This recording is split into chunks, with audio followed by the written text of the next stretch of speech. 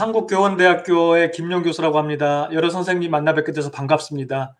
어, 오늘은 제가 지난해 수행한 서울 혁신교육 정책 10년 연구의 내용을 어, 간략하게 소개를 해드리겠습니다. 어, 제가 준비한 PPT를 활용해서 말씀을 드리겠습니다. 어, 이 연구는 2010년, 아, 아, 올해, 아, 지난해 2020년 6월부터 12월까지 대략 6개월에 걸쳐 수행을 했고, 제가 연구 책임자를 맡고 네 분의 공동 연구자를 모시고 진행했습니다. 어, 연구 문제와 연구 내용을 간략히 소개해드리면, 연구 문제는 어, 서울혁신교육 정책의 지난 10년은 과연 무엇이었나, 어떻게 구성할 수 있나, 라고 하는 연구 질문입니다. 그러니까 어, 연구 연구의 제목만 보면 정책 평가에 관한 연구 같지만 사실 이 연구는 어, 정책에 관한 약간 중립적인 분석적 연구라고 볼 수 있습니다. 이번 연구를 통해서 어, 이 문제에 답하기 위해서 서울혁신교육 정책의 정책 환경을 먼저 살펴보고 여러 가지 구체적인 정책이 어떻게 실행되었나 그 과정을 확인하고 어, 확인 실행된 정책에 대한 언론의 반응은 어떤 것이었나도 조사해 보았습니다.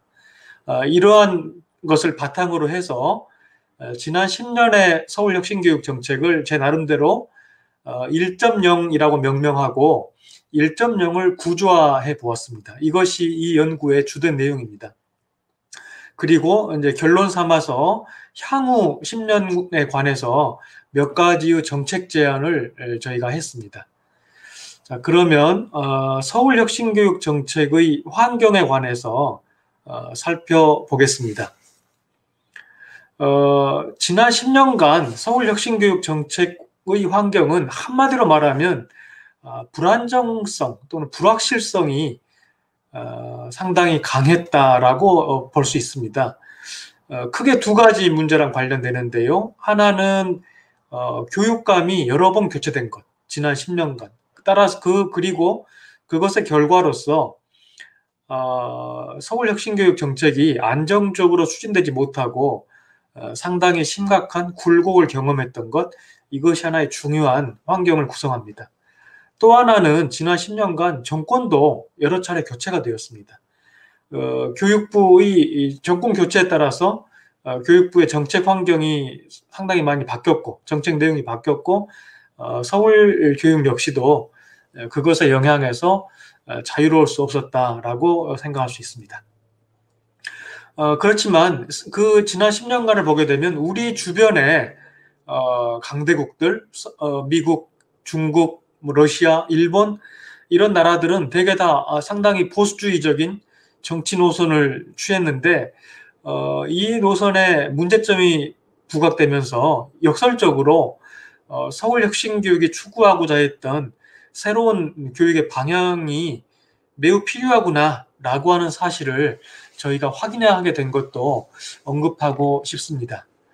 자, 그러면 다음으로 어, 구체적으로 어떤 정책들이 어, 서울혁신교육 정책이라고 하는 이름으로 전개되었는지를 살펴보겠습니다. 저희가 어, 오늘 발표에서는 시간상 어, 정책의 제목 정도만 말씀드리겠습니다. 어, 이 분류는 사실은 연구를 시작할 무렵에 어, 서울시 교육청에서 저희 연구진에게 어, 범주화해 준 정책들입니다. 어, 서울시 교육청에서는 혁신교육 정책을 크게 세 가지로 범주화하고 있는데요. 첫 번째로는 혁신교육 중심 사업이라고 해서 어, 서울형 혁신학교, 혁신교육지구, 어, 민주시민교육, 학교 자율운영 체제, 정책 등 네 가지를 들고 있습니다. 어, 두 번째로는 어, 현장 기반의 혁신 교육 일반화 정책이라고 해서 교육 과정 수업 평가 혁신 정책, 학교 공간 디자인 정책, 어, 교육 복지 및 공공성 강화 정책 이 세 가지를 또 들고 있습니다. 마지막으로 혁신 정책 기반 시스템 구축이라고 해서 어, 교원 정책과 어, 교원 인사, 연수, 행정혁신, 학교 회계 등을 어, 기반 정책으로 들고 있습니다.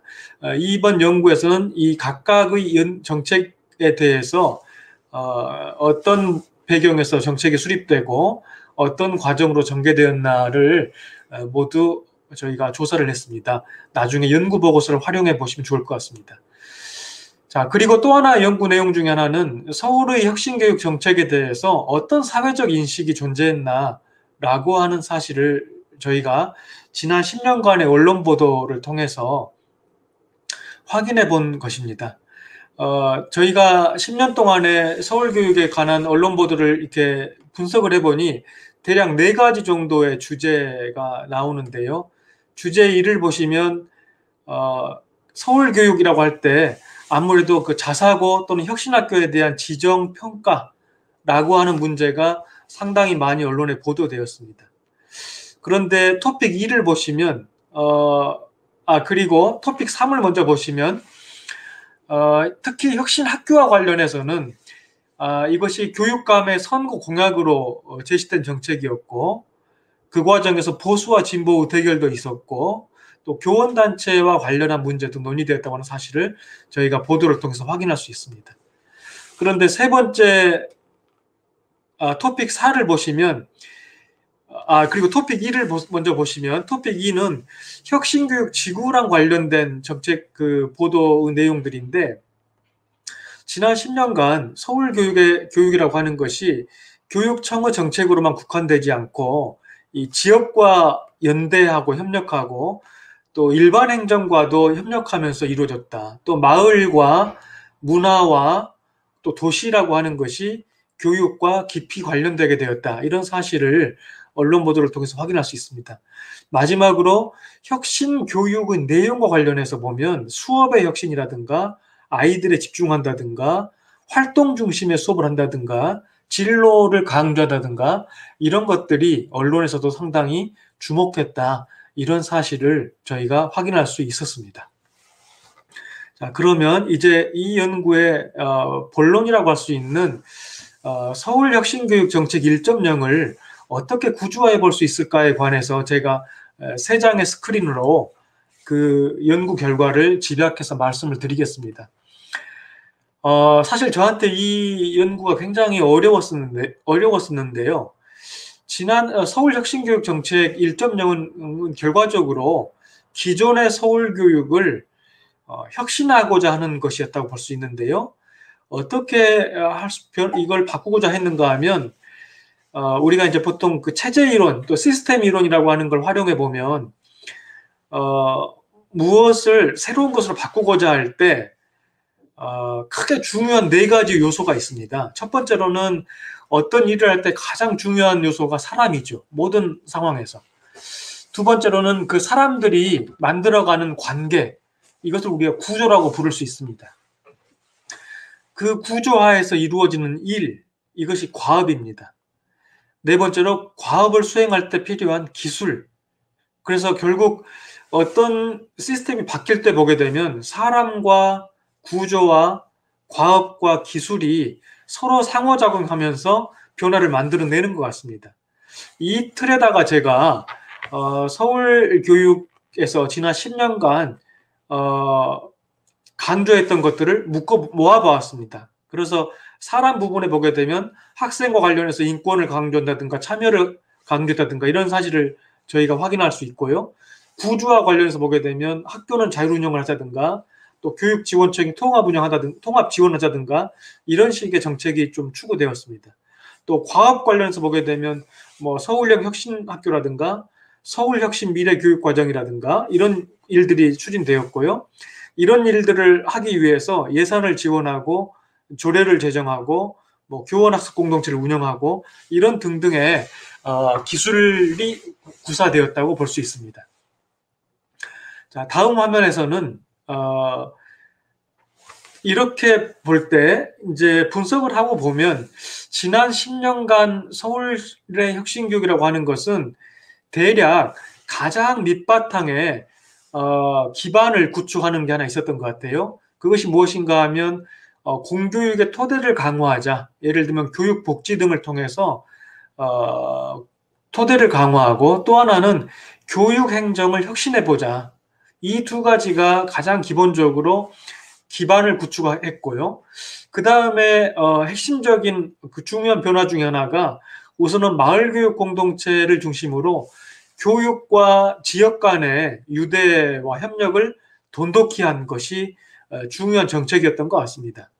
그리고 또 하나는 학교 자체는 어, 운영 자율 운영을 좀 강화하자라고 하는 것이 어, 서울 지난 10년간 매우 강조되었던 정책입니다.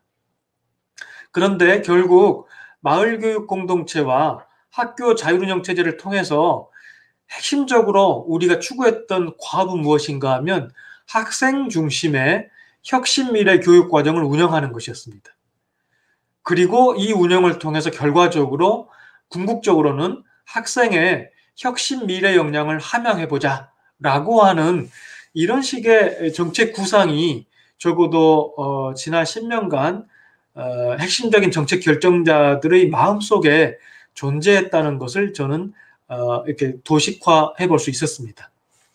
자, 다음 슬라이드에서는 그런데 지난 10년간의 서울혁신교육 정책이 저는 갈림길에 있다고 어, 생각을 좀 해보았습니다. 우선 지난 10년간 자율과 책임의 교사와 학생을 강조해왔습니다. 우리가 이것을 지향하고 있습니다. 그러나 현실적으로 보게 되면 일각에서는 자기 편의에 치우친 교사와 학생도 없지 않습니다. 이 우리가 어느 쪽을 향할 것인가가 앞으로 매우 중요한 문제가 될 것 같습니다. 또 하나는 우리가 혁신 미래 교육 과정이라고 하는 것을 교육청에서 굉장히 강조해 오고 있습니다.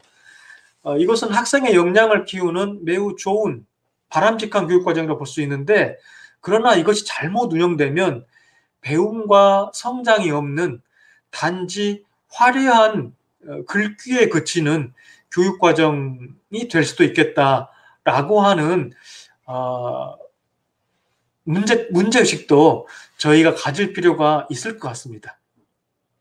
세 번째로는 학교 자율운영 체제라고 하는 것도 어, 학교 혁신의 궁극적 궁극적인 지향점으로 우리 교육청이 강조해 왔는데 어, 일각에서 보게 되면 책임이 결여된 어, 학교 운영이라고 하는 것도 어, 어떤 그런 모습도 나타납니다.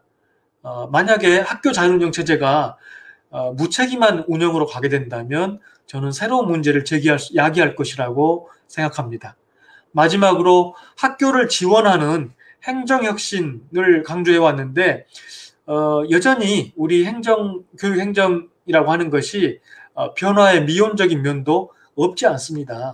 앞으로는 조금 더 적극적으로 행정을 혁신하는 그런 모습을 기대해 봅니다. 자, 다음 슬라이드에서는 이런 어, 분석을 바탕으로 어, 서울혁신교육 정책 1.0의 성과를 제가 다섯 가지 정도로 정리해 보았습니다. 가장 중요한 성과는 어, 교육의 공공성 기반을 구축했다.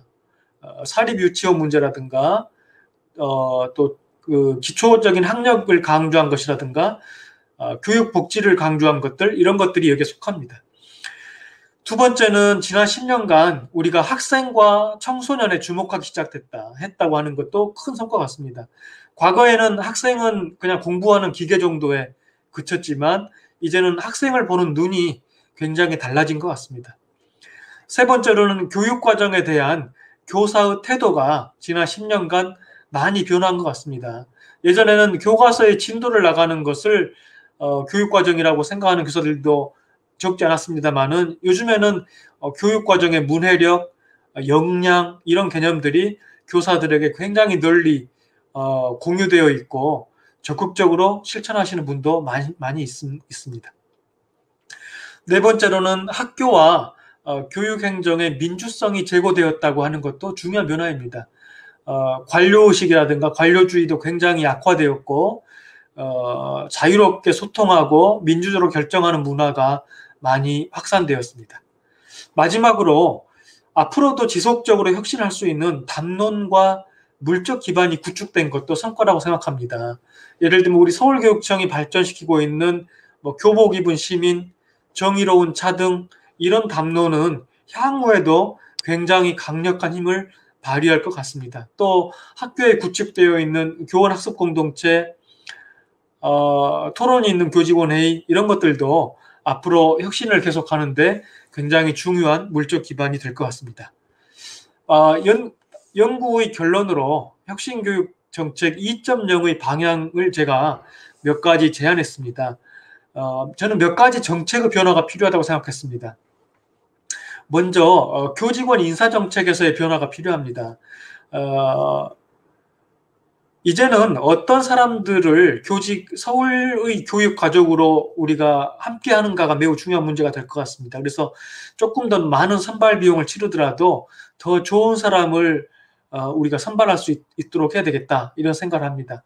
두 번째로는 근무 연한을 조금 저는 늘리는 게 좋다고 생각합니다. 공립학교의 경우에 우리가 학교의 자율운영을 하려고 하면 교직원들의 어, 학교에 대한 주인의식 또는 우리의식이라고 하는 게 우리 학교 의식 이런 게 매우 중요합니다. 어, 이런 의식을 가지려고 하면 불가피하게 근무 연한이 지금보다는 조금 더 늘어나야 되지 않을까 이런 생각을 해보았습니다. 두 번째로는 학생 성취의 출구 관리 기제를 확립하는 것도 중요하다고 생각합니다. 우리나라는 입학할 때는 시험을 치르지만 졸업할 때는 시험을 치르지 않습니다.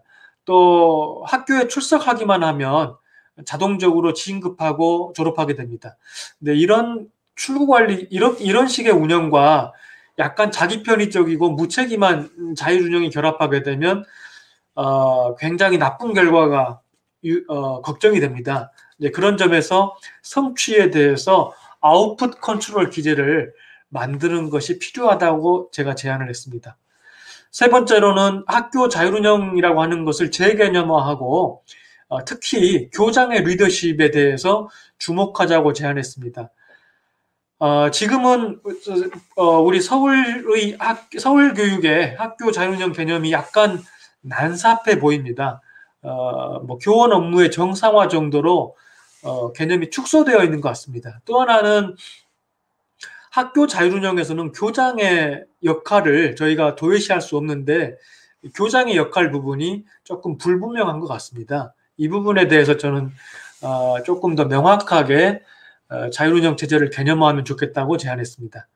네 번째로는 학습 복지를 강화하는 것이 매우 중요하다고 생각합니다.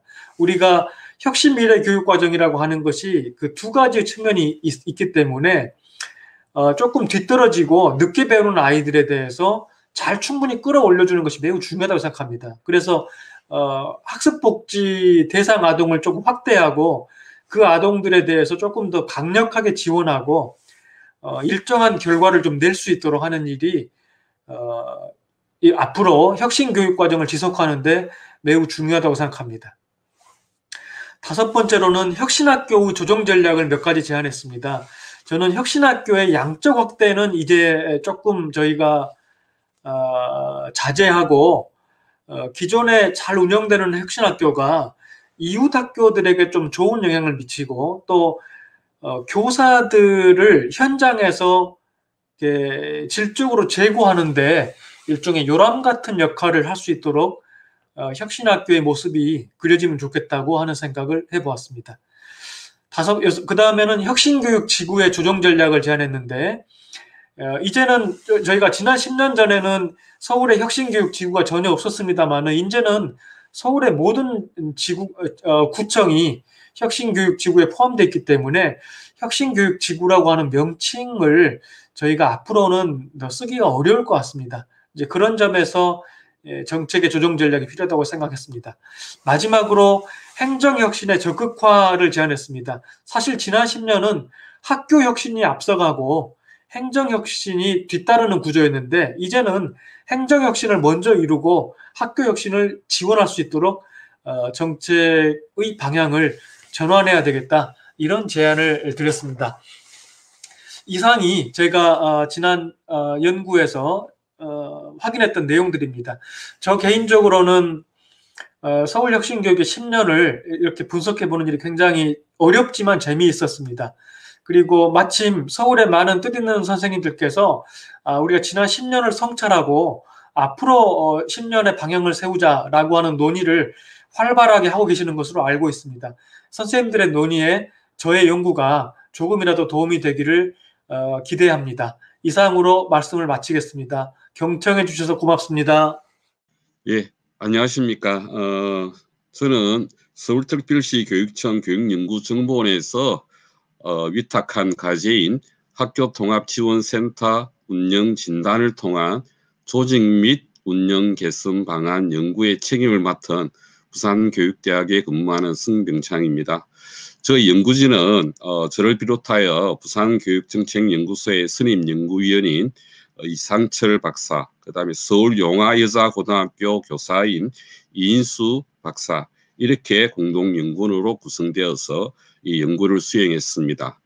자 그러면 구체적인 연구의 어, 결과에 대해서 어, 말씀드리도록 하겠습니다. 예, 어, 저희 연구는 그 학교 통합지원센터 운영 진단을 통한 조직 및 운영 개선 방안 연구인데요. 이 연구를 수행하기 위한 과정은 지금 인덱스로 지금 제시되어 있는 것은 서러운 이론적 배경, 그 다음에 학교 통합지원센터 운영 현황 분석, 그 다음에 학교 통합지원센터 운영 진단을 위한 설문조사, 그 다음에 진단을 위해서 FGI 분석, 그리고 나서 어, 조직 및 운영 방안 개선 방안을 도출해서 어, 제시하였습니다.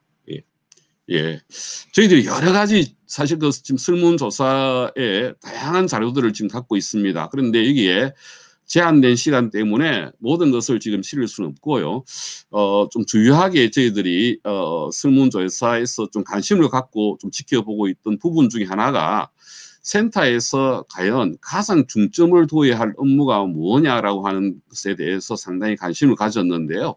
그 부분에서 이제 교육지원청의 어, 구성원들은 실제 어떻게 답하고 있느냐라고 보면은 가장 지금 이 표에 나타나고 있듯이 보면은 어, 6번입니다.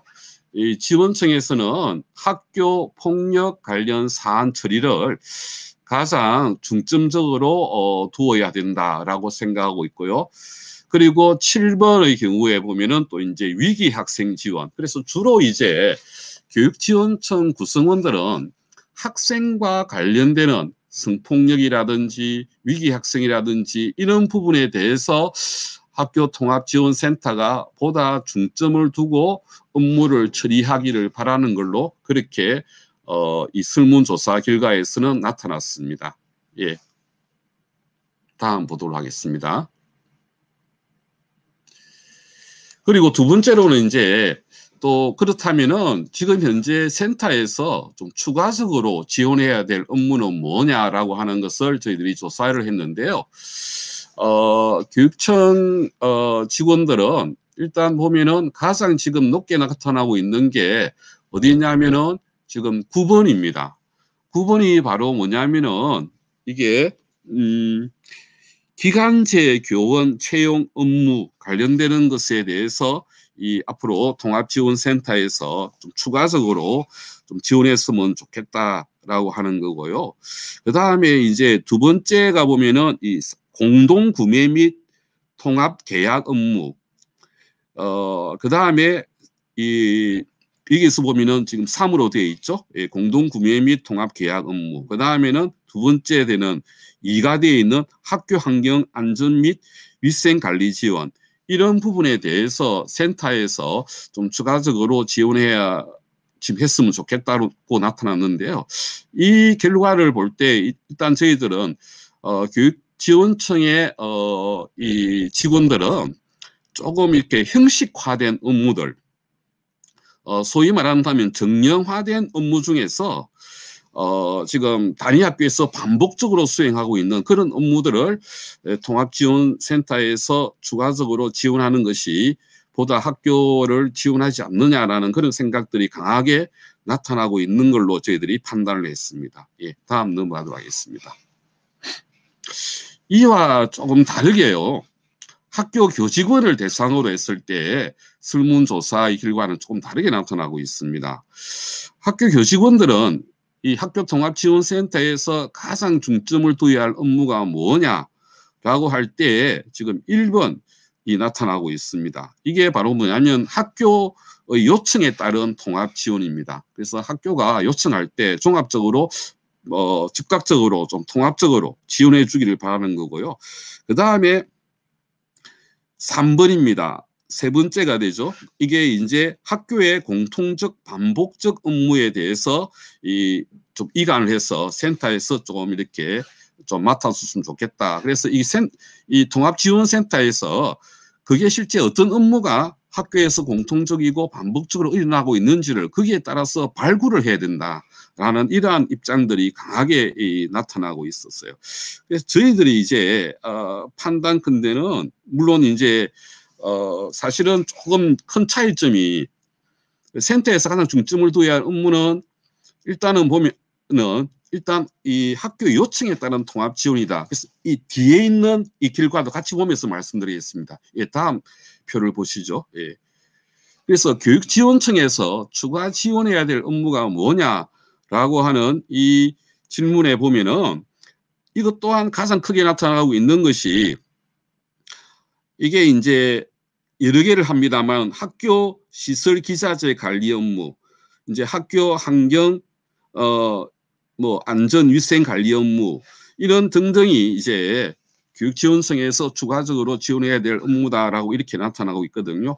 저희들이 조금 차이점은 보면은 물론 이제 학교에서 반복적으로 일어나고 있는 이런 업무들 중에서 이제 그런 부분은 상당 부분 어, 이 통합지원센터에서 어, 통합 그걸 맡아서 이제 처리해야 된다라고 하는 데에서는 뭐 이 교육 어, 교육지원청의 직원이나 어, 단위 학교의 교직원이나 유사합니다만은 중요한 차이점 중에 하나는 이 교육 어, 교직원 같은 경우에는 저희 이제 요청 가장 이제 가, 어, 중점을 두어야 될 업무로 아까 조금 전에 살펴보았습니다만은 이 학교에서 이 다양한 고민들이 교육 활동을 하다 보면 다양한 고민들이 있는데 그 고민들을 즉각적으로 통합적으로 지원해 주는 것을 가장 우선으로 생각하고 있거든요. 그래서 어 조금 차이 저희들이 이제 분석한 바로는 어 아무래도 교지 그 교육 지원층에 있는 교직원들은 정량화된 업무로의 어 이관이나 또는 그 추가적으로 그 일을 맡았어야 되겠다는 그 생각이 강한 반면에 오히려 이 학교 교직원들은 그런 업무도 물론 이제 이 어, 교육 지원청에 있는 통합 지원 센터에서 맡아야 되겠지만 그것보다도 중점을 둬야 될 것은 조금 비정형화된 업무들. 그래서 이렇게 딱 정형화되지 않았지만 어, 교사들이 교육을 활동하다가 또는 학교에서 교육 활동하다가 고민스러운 부분들 실제 또 누구에게 도움 받아야 될지 즉각적으로 잘 모르는 경우가 있는데 그런 부분에 대한 어떤 도움을 통합지원센터에서 좀 적극적으로 해주길 바란다라고 하는 게 중요한 차이점으로 저희들이 발견했습니다. 예, 다음 넘어가겠습니다. 이러한 뭐 간략하게 했습니다만은 저희들이 이제 통합지원센터의 이러한 승, 현황의 분석, 그 다음에 설문조사, 그 다음 FGI 면담 이러한 결과를 바탕으로 해서 저희 연구진들이 이제 모여서 어, 여러 번, 어, 또 전문가 그룹들과 같이 해서, 어, 여러 번 이렇게 회의를 거쳐서, 어, 나름대로, 어, 어 개선 방안을 어, 제시를 했습니다. 개선 방안을 제시하기, 제시할 때 우선 저희들이 전제를 좀 몇 가지를 깔았습니다. 이게 워낙 복잡하고 강부비한 어, 과제이기 때문에 이러한 전제가 없으면은 어떤 이 조직 및 운영 개선 방안을 마련하기 어렵다라고 봐서 일단 첫 번째는 전제를 통합 지원센터, 학교 통합 지원센터 목적을 재설정해야 되겠다라는 생각을 했습니다. 왜냐하니까 지금 현재 통합 지원센터의 어떤 목적, 목표가 어떻게 되어 있냐면요. 학교 맞춤식 통합 지원으로 학교 자율 운영 체제 구축 지원 이렇게 되어 있습니다. 그래서 이 굉장히 모호하다. 그러니까 학교 자율 운영 체제 구축 지원이라 하게 되면은 자율 운영하도록만 만들어주면 되는 것이다. 그래서 이 목적이 오히려 혼돈이 일어날 수 있다. 그래서 그래서 오히려 궁극적인 어떤 목적을 분명하게 해야 되겠다. 그래서 학교의 질적 교육 활동을 보다 높은 물론 가칭입니다. 그래서 학교 맞춤식 통합 지원을 통해 가지고 학교가 지금보다 한 단계 높은 교육 활동을 할 수 있도록 해주는 것이 바로 학교 통합 지원 센터의 목적이다라고 저희들은 재설정하고 출발을 했습니다. 예. 두 번째로 넘어가겠습니다. 그 다음에 두 번째로는 학교 통합지원센터 업무는 계속 증가할 것이라는 전제를 했습니다. 이게 이 통합지원센터에 대해서 지금 만족도가 굉장히 높고요. 그리고 추가 요구하는 업무도 굉장히 많고요. 그렇다면은 당연히 업무는 지속적으로 증가할 것이고 그래서 그 증가할 것이라는 가정하에 거기에 대응하는 조직과 운영 개선 방안을 제시하고자 합니다. 예, 다음 넘기겠습니다. 그 다음에 이게 이제 세 번째로는 통합 학교 통합 지원 센터는 지원층별로 이게 각각 다를 수가 있습니다. 그런데 이 각각의 지원층별로의 그 방안을 제시하기란 사실은 굉장히 어려운 거고요. 그래서 여기에서는 모든 지원층에 공통적으로 적용할 수 있는 개선 방안을 제시하고자 합니다. 그래서 이 개선 방안에 근거를 두고 각 지원층별로 상황에 맞게 재구성하여 사용할 수 있을 것이라고 생각됩니다. 예. 다음으로요. 그 다음에 이제 이게 어디에다 초점을 둘 거냐 시기적으로 그래서 학교 통합지원센터의 진단이고 진단을 통한 어떤 결과의 바탕을 두고서 저희들은 이제 단기 중기에다가 어, 제한을 줍니다. 사실은 이제 장, 어, 중장기로 가게 되면은 전혀 또 다른 어떤 개선 방안이 모색되어 줄 수 있는데 예, 가능한 한 그렇게 되면 좀 실현성이 좀 낮을 수 있기 때문에 저희들은 가능한 한 단기적, 중기적 시기에 제한해서 그 개선 방안을 제시하고자 합니다. 예. 다음은 넘겠습니다. 자, 첫 번째, 아, 크게 이제 둘로 저희들 나누었습니다. 조직 차원의 개선 방안과 운영 차원의 개선 방안인데요. 첫 번째, 조직 차원의 개선 방안에서 통합지원센터 조직을 이제 재구성하는데요. 이게 저희들이 여러 가지로 볼 때 현 조직에서 나타난 주요 문제점으로 보면은 이 통합지원센터가 교육국 소속이다 보니까 이게 상당히 이게 교육국 내의 업무와 그러니까 교육국 내에서의 업무의 중복과 행정국가의 또 업무의 중복 이런 게 상당히 많이 나타났습니다. 그래서 저희들이 볼 때 물론 조직 구조 설계를 통해서 모든 문제를 해결할 수 없지만 현재의 어, 교육국에서 다시 떨어진 그 어떻게 생각하면 앞에서 우리가 현황에서 봤듯이 제주도의 어, 그 모델로 통합지원센터의 조직을 교육국에서 어, 독립부서로 어, 이렇게 운영되어질 수 있다. 지금 보면은 어, 교육, 교육지원층이 2국으로 구성되어 있는데 그것을 2국 1센터로 재설계되어서 운영될 필요가 있다라고 저희들이 판단하고 이렇게 제시하고자 합니다. 두 번째로는요. 어, 그 다음 통합지원센터 내부 조직을 그럼 어떻게 할 건가라고 하는 부분입니다. 이 독립조직으로 통합지원센터 조직은 크게 저희들이 세 가지 팀으로 구성할 필요가 있다고 봤습니다. 하나는 교육활동 통합지원팀, 두 번째는 교무행정지원팀, 세 번째는 생활교육지원팀. 지금 아마 생활교육지원팀은 지금 기존에 있는 팀과 거의 같다고 보면 되고요. 어, 이제 지금 현재 교육활동 행정지원팀을 두 개로 구분시키는 겁니다. 이게 이제 교육활동 통합지원이라는 게 이게 굉장히 비정량화된 업무입니다. 그리고 여기에 대한 만족도도 높고 앞으로 여기에 대한 요구도 점차 많아질 거고요.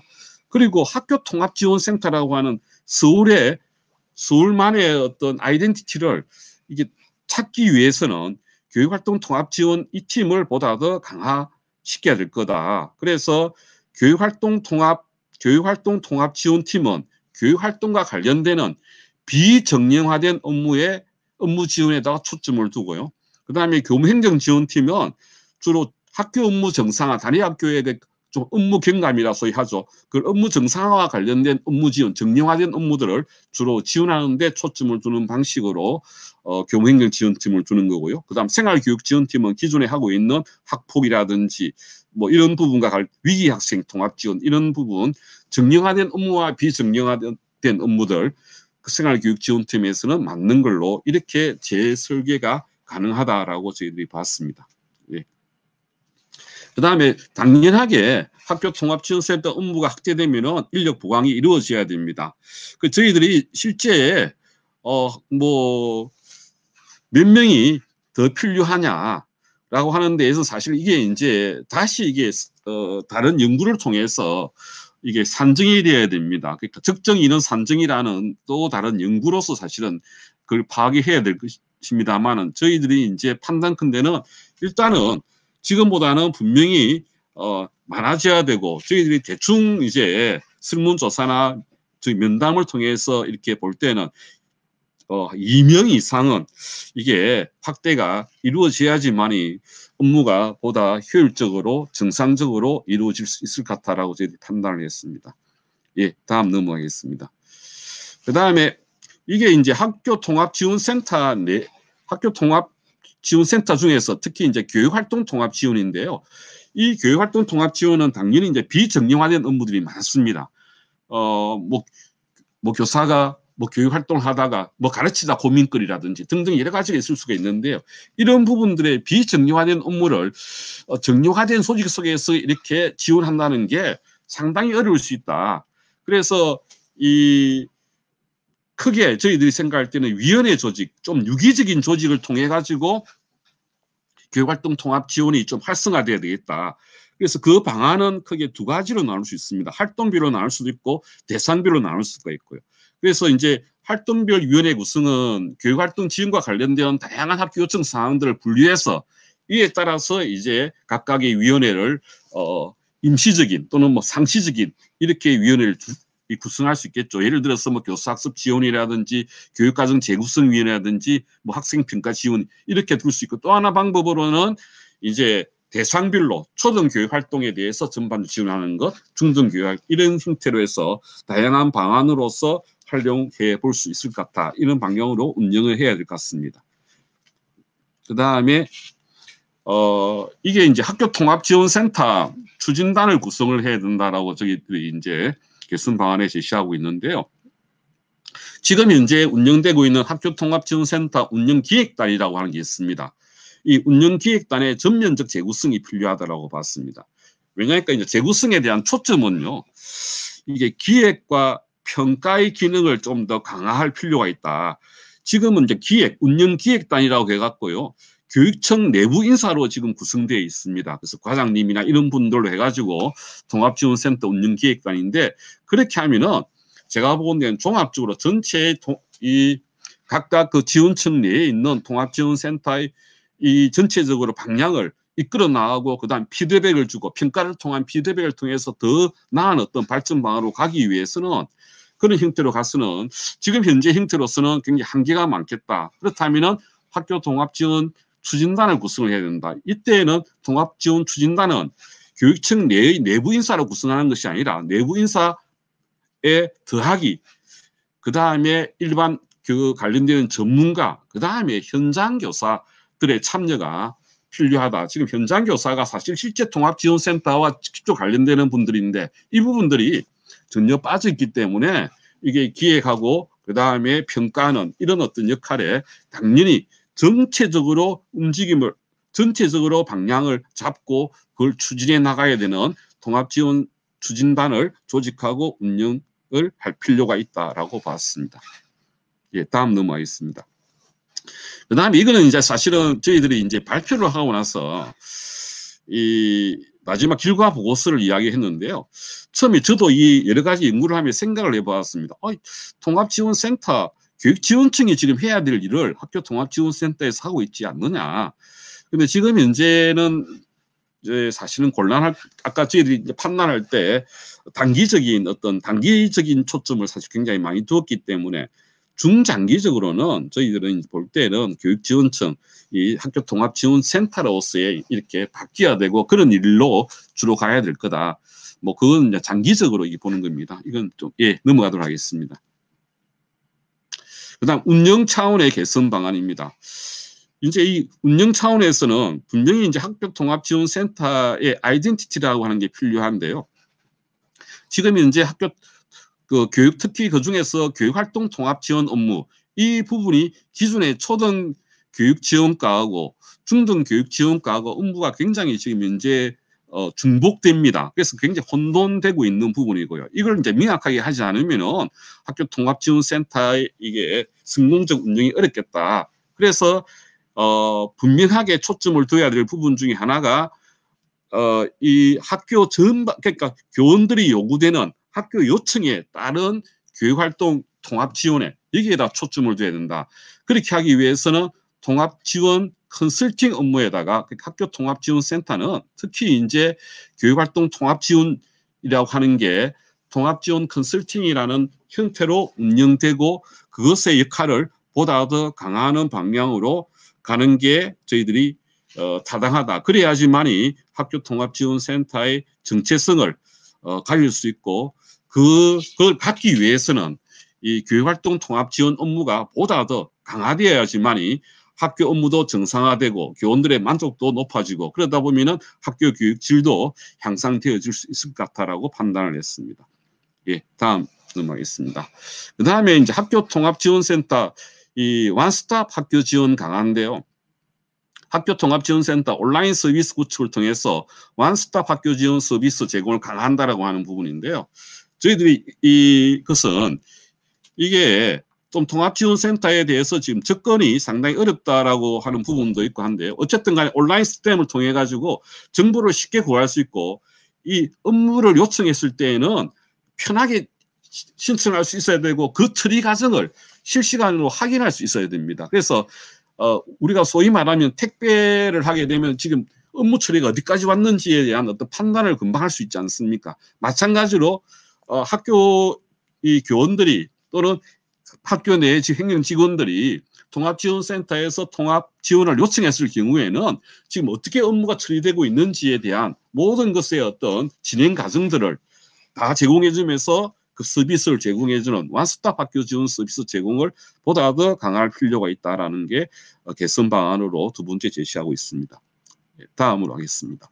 그 다음에 업무의 어, 재구조화가 이 필요합니다. 그래서 통합지원센터는 당연히 이제 업무가 기존 수행하는 업무에 이 추가적인 업무가 우리가 지금 설문조사에서 나타났습니다만은 역할이 보다 지금 강화되길 바라고 있습니다. 그래서 가장 우선적으로 저희들이 볼 때 추가적으로 어, 수행해야 될 업무가 학교 안전 및 위생 관리 지원 업무하고요. 그 다음에 기간제 기원 채용 업무 이 두 업무는 어, 학교 지원 업무를 확대하는 방향으로 빠른 시일 내에 어, 재구조화가 되어야 될 것 같다라고 판단했습니다. 그 다음에 어, 설문조사의 결과와 사실 면담에서 나타, 어, 지금 나타나고 있듯이 학교 급별 맞춤형 업무 지원이 보다 더 강화되어야 될 것 같습니다.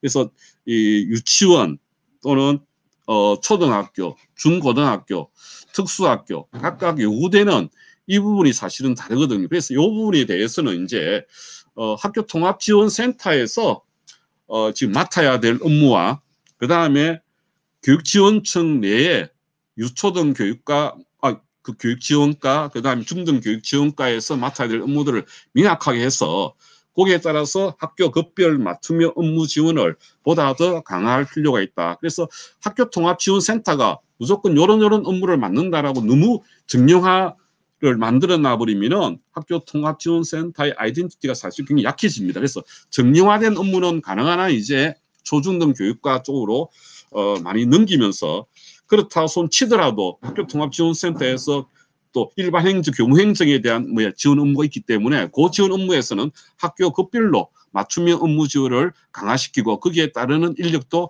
강화해야 될 거다, 아, 즉 보완해야 될 거다라는 판단을 해보았습니다. 예, 다음 넘어가겠습니다. 그 다음에 이제 업무 처리하는데 상당히 이 혼동과 이 혼동을 일으키게 되는 것 중에 하나가 이게 매뉴얼이었기 때문에 생기는 부분들이 있습니다. 그래서 이 지금 학교 업무 학교 통합지원센터가 앞으로 업무가 보다 더 증가할 거고 그러다 보면 업무의 가중과 업무 처리에 상당히 혼돈이 날 겁니다. 그래서 이를 예방하는 방법으로 업무 처리를 단계별로 세분화해서 이 업무의 매뉴얼을 만들어내는 겁니다. 그 정형화된 업무의 경우에는 가능한 한 매뉴얼을 만들어내어서 그 매뉴얼에 따라서 업무가 처리되도록 어, 보급해야 될 거고요. 거기에 따라서 필요한 인력에 그렇게 업무를 처리할 수 있는 역량도 강화하는 방안들도 적극적으로 마련해야 될 것 같습니다. 예, 다음 예. 어, 실제 연구의 내용은 상당히 많은데요. 그것을 요약을 하려고 하다 보니까 상당히 지금 어, 제한되어 있고요. 제한된 시간 내에 또 발표를 하려고 하니까 많이 빠져 있는 부분이 있는 것 같습니다. 어, 만약에 저희들이 갖고 있는 이 보고서를 이제 오늘 어, 저, 제가 지금 말씀을 어, 지금 말을 하지 못했던 여러 가지 어떤 부분들은 어, 저희들 보고서 그 보고서를 보면은 그 지금 어, 그 상세하게 나와 있기 때문에 보고서를 참조하시면 될 것 같습니다. 예, 지금까지 들어주셔서 감사합니다. 고맙습니다. 예, 안녕하십니까. 저는 숭실대학교 교수 전주성입니다. 이번에 저희 연구팀에서 서울특별시 교육청 평생교육 차별화 및 재구조화 방안 연구를 수행하였습니다. 핵심적인 부분들 중심으로 말씀드릴 텐데요.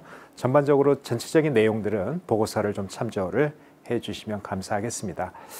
아, 핵심적인 내용, 서울시 교육청 평생교육의 차별화 및 재구조화 방안을 중심으로 말씀을 드리도록 하겠습니다.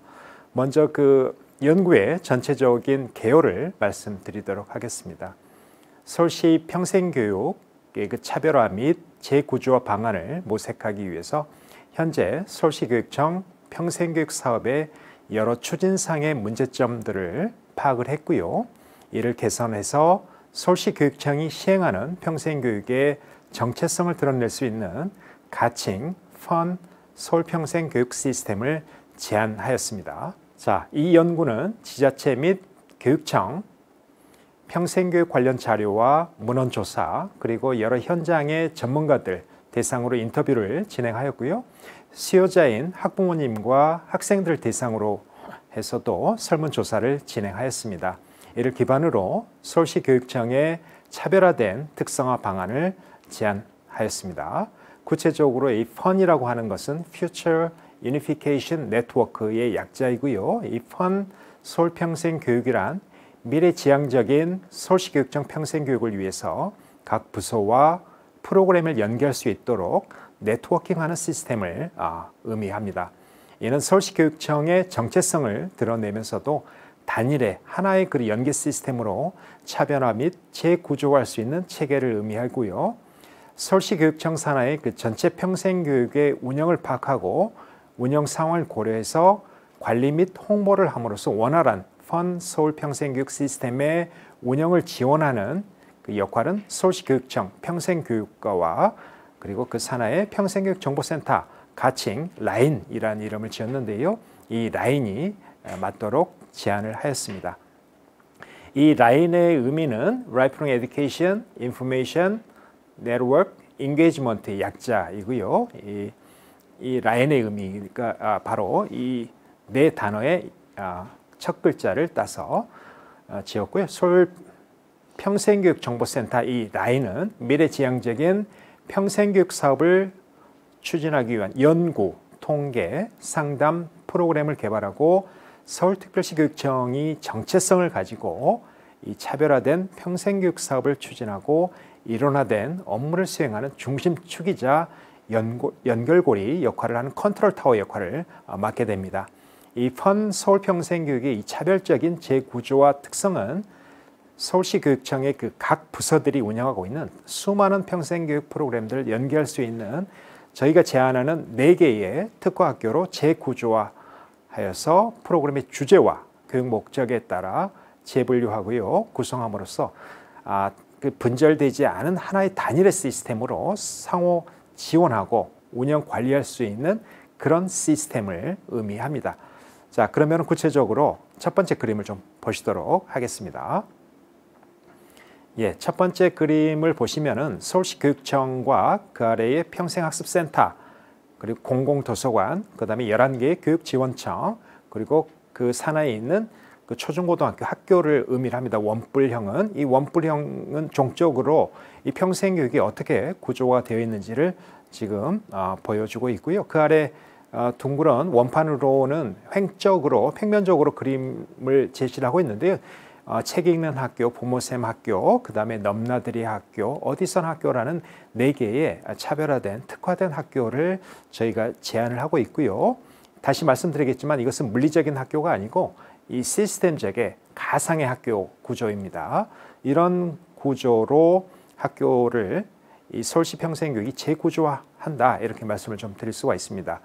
두 번째 그림을 좀 보시도록 하겠습니다. 예, 두 번째 그림도 서울시 교육청의 조직 부서들, 그 아래 여러 센터들, 그 다음 평생학습센터, 그리고 그 다음에 그 평생학습관, 그 다음에 여러 뭐 센터들, 학교, 그 다음에 저희가 제안하는 네 개의 특화된 네 개 학교와의 그 연계, 조직 연계를 그림으로 좀 보여드리고 있습니다. 세 번째 그림을 좀 보시도록 하겠습니다. 자, 세 번째 그림은요, 핵심적인 그그 내용을 담고 있는데요. 이것도 이제 평면적으로 네 개 학교로 어떻게 연계되는지 각 조직 부서와 서울시 교육청, 평생학습센터 학교, 교육지원청 그리고 네 개의 학교가 그 프로그램 상에서 어떻게 구조화되고 운영되는지를 이제 말씀을 아, 드리고 있는 그림인데요. 이 그림들 제가 지금 앞에서 세 가지의 그림을 보여드렸는데 이, 이런 그 네 개 특화된 학교로 재구조화돼서 서울시만의 정체성, 서울시 교육청만이 갖는 그런 정체성을 갖는 방향으로 이 서울시 교육청이 추진하는 평생 프로그램들이 재구조화되고 차별화된다 이런 점들을 말씀드리고 있습니다. 자, 이펀 서울평생교육 시스템에서는 서울시 교육청을 서울평생교육을 기획하는 가장 상위 기관으로 두고요. 평생학습관과 소속센터를 통해서 서울시 교육청에서 제공할 수 있는 프로그램들을 운영을 합니다. 이때 지역교육지원청과의 협력을 통해서 학교 및 특성화학교로 프로그램 운영을 확대하고요. 서울시 교육청만의 평생교육 프로그램을 모델할 수 있고 이것은 기존에 서울시가 하는 서울시 평생교육진흥원 중심으로 서울시가 운영하고 있는 평생교육 시스템과는 굉장한 차별화 방안이라고 말씀을 드릴 수가 있습니다. 여기에서는 그 4대 특화 학교라는 시스템을 재구조할 수 있는 그런 방향으로 이 서울시 교육청의 평생교육이 아, 운영되는데요. 이 4대 특화 학교는 첫 번째 책 읽는 학교, 부모쌤 학교, 그 다음에 넘나들이 학교, 어디서나 학교 이 4대 특화된 학교 시스템으로 구성되어 있다. 이렇게 말씀드릴 수 있는데 이것은 서울시 교육청만의 주제별 특화학교 다 이렇게 말씀드릴 수가 있고 이것은 서울시 교육청만이 가질 수 있는 이 평생 교육의 자원과 강점을 활용할 수 있는 방안이다. 이것이 이것을 통해서 이 서울시 교육청의 평생 교육 시스템 이 모형을 통해서 평생 교육을 차별하고 재구조할 수 있다라고 말씀을 드릴 수가 있습니다. 자, 첫 번째 그림을 좀 보시도록 하겠습니다. 이제 첫 번째 그림은 지금 보고 계시는데 책 읽는 학교입니다. 책 읽는 학교는 서울특별시 교육청의 공공도서관, 평생학습관을 협력 기관으로 선정을 하게 되죠. 그 이런 기관들과 연계해서 운영할 수 있는 모든 평생교육 프로그램을 통합합니다. 이 책 읽는 학교의 특화 사업은 서울특별시 교육청 공공도서관, 평생학습관과 연계해서 공공도서관, 평생학습관의 특성화 사업 주제와 관련한 평생교육 사업을 운영하고 이를 지역 내 초중고등학교에 적용 확장해서 운영하는 것을 아, 아이디어로 어, 제시를 하고 있고요. 공공도서관 평생학습관의 유휴 공간을 활용해서 문해교육이라든가 그 성인들의 문해교육이라든가 장애 성인 교육과 같은 교육, 교육 소외 계층을 대상으로 하는 이 서울시 교육청만의 사업을 수행할 수가 있습니다. 예, 다음으로 두 번째 그림을 좀 보시도록 하겠습니다. 두 번째 학교는요 부모쌤 학교입니다. 이 부모 인력 자원이 샘 솟는 듯하다 이런 의미를 가지고 있는데요. 자녀의 가장 좋은 선생님은 부모다라는 것을 담고 있는 의미의 특화 사업입니다. 이 부모쌤 학교의 특화 사업은 서울특별시 교육청 평생교육만의 강점으로 부모 교사를 양성하는 프로그램을 인증하고요. 교육을 통해 충분히 자격을 갖춘 부모 교사에게 자격증을 발급해서 지역 내 부모와 조부모의 인력을 학교의 교육 지원 인력으로 양성하는 것이 대표적인 사업의 아, 예시라고 볼 수가 있습니다. 양성된 이 부모쌤들은 평생학습관 소속으로 일정 기간 동안 활성할, 활동할 수가 있고요. 평생학습관 프로그램 및 지역 내 초중고등학교와 연계해서 특별 수업, 창의적 체험 활동이라든가 예체능 수업이라든가 이런 수업들도 진행할 수가 있겠지요. 자, 그리고 세 번째 학교는 예, 넘나들이 학교입니다. 이 넘나들이 세 번째 타입 C인데요. 이 넘나들이 학교는 교육 내용이라든가 격차, 수준 등의 해소 및 교류 차원에서 학교의 물리적 장벽을 넘나들며 교육하는 특화 학교다 이렇게 말씀을 좀 드릴 수가 있고요. 특성화 학교를 중심으로 AI 융합 주제와 같은 특색 있는 프로그램 체험 활동을 통해서 지역사회, 학교를 중심으로 하는 그 지역사회 주민들을 대상으로 특성화 주제에 대한 경험을 확대할 수 있다는 그런 장점을 가지고 있죠. 교육의 대상을 한정하지 않고 특성화 주제를 기반으로 초중고등학교, 특성화 고등학교, 대학교의 물리적 장벽을 넘어서 원하는 주제에 대한 학습을 교류할 수 있도록 하는 것이 이 넘나들이 학교의 아, 특징이라고 볼 수가 있습니다. 자, 이제 다음 이제 네 번째 학교인데요. 어디선 학교다 이렇게 저희들이 이름을 지어보았습니다. 이 스마트 교육 환경 기반의 특화학교 사업이다 이렇게 말씀을 드릴 수 있는데 지금 현재와 같은 코로나 19와 같은 그런 상황 속에서는 이 스마트 교육 환경 굉장히 중요하죠. 누구나 언제든 어디서라도 본인이 원할, 원하는 수업을 들을 수 있고요. 교육에 대한 요구를 채울 수 있는 미래지향적인 학교라고 감히 말씀을 드릴 수가 있습니다. 이 스마트 교육 환경을 활용해서 학생들은 국내 초중고등학교 및 초중고등학교의 교육 그리고 문화를 교류할 수 있고요. 언제 어디서나 배움이 가능하기 때문에 이 교육소의 계층에게도 편리한 교육 환경으로 수업이라든가 교육 자료를 제공할 수 있는 그런 장점이 있습니다. 학부모나 교직원들을 포함해서 이 상인들 역시 국내 장소를 초월한 수업 기회의 확대로 인문 교양이라든가 문화예술, 다른 서울시라든가 지자체라든가 정부 부처에서 제공하는 그런 종류가 아니라 이런 이 서울시 교육청만에 특화된 그 교직원, 학생, 부모님, 학교를 중심으로 한 이해관계자들이 특화된 이런 프로그램들을 제공할 수 있다. 이런 프로그램들을 제공할 수 있다는 그런 강점이 있습니다. 예, 결론적으로 좀 말씀을 좀 드리도록 하겠습니다. 이 본 연구에서 제안하는 어, 펀 서울평생교육은 서울시 평, 어, 교육청의 각 부서가 연계하고 평생학습관, 교육지원청, 그 산하의 소속센터와 학교가 협력하는 유기적인 시스템이다. 유기적인 통합 시스템이다 라고 이렇게 말씀을 드릴 수가 있고요. 이것은 기존의 그 획일적이고 분절적으로 추진되어 온 기존의 그 서울시 교육청의 평생교육 운영 추진 시스템과는 다르고요. 그리고 기존의 지자체라든가 다른 시도 교육청 그리고 정부 부처의 그런 어떤 평생교육 추진 체계와도 다른 운영 체계다라고 감히 말씀을 드릴 수가 있습니다. 특히 이펀 서울평생교육 4대 특화 학교는요. 물리적인 학교 공간이 아니라 교육 주제별로 시스템을 의미한다라고 볼 수가 있고요. 이 학교라는 상징적 이미지로 재구조함으로써 서울특별시 교육청 평생교육을 확실하게 차별화하고 재구조하는 그런 효과를 가져온다고 볼 수가 있습니다. 서울특별시 교육청 평생교육 차별화 전략은 외부적으로는 서울특별시 교육청 평생교육의 정체성을 담은 펀 서울평생교육의 차별성을 드러내는 것이고요. 내부적으로는 이를 실현하기 위한 평생교육 통합 시스템을 구축하는 것이라고 말씀을 드릴 수가 있습니다. 감사합니다.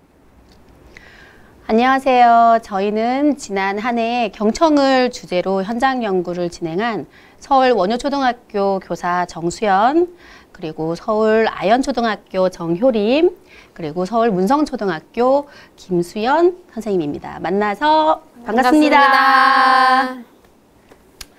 어, 딱 1년 전쯤인 것 같습니다. 지난해 1월 저희는 학교에서 벌어지는 여러 가지 갈등 상황에 대해서 고민하다가 어, 관련 연수를 신청해서 듣게 되었는데요.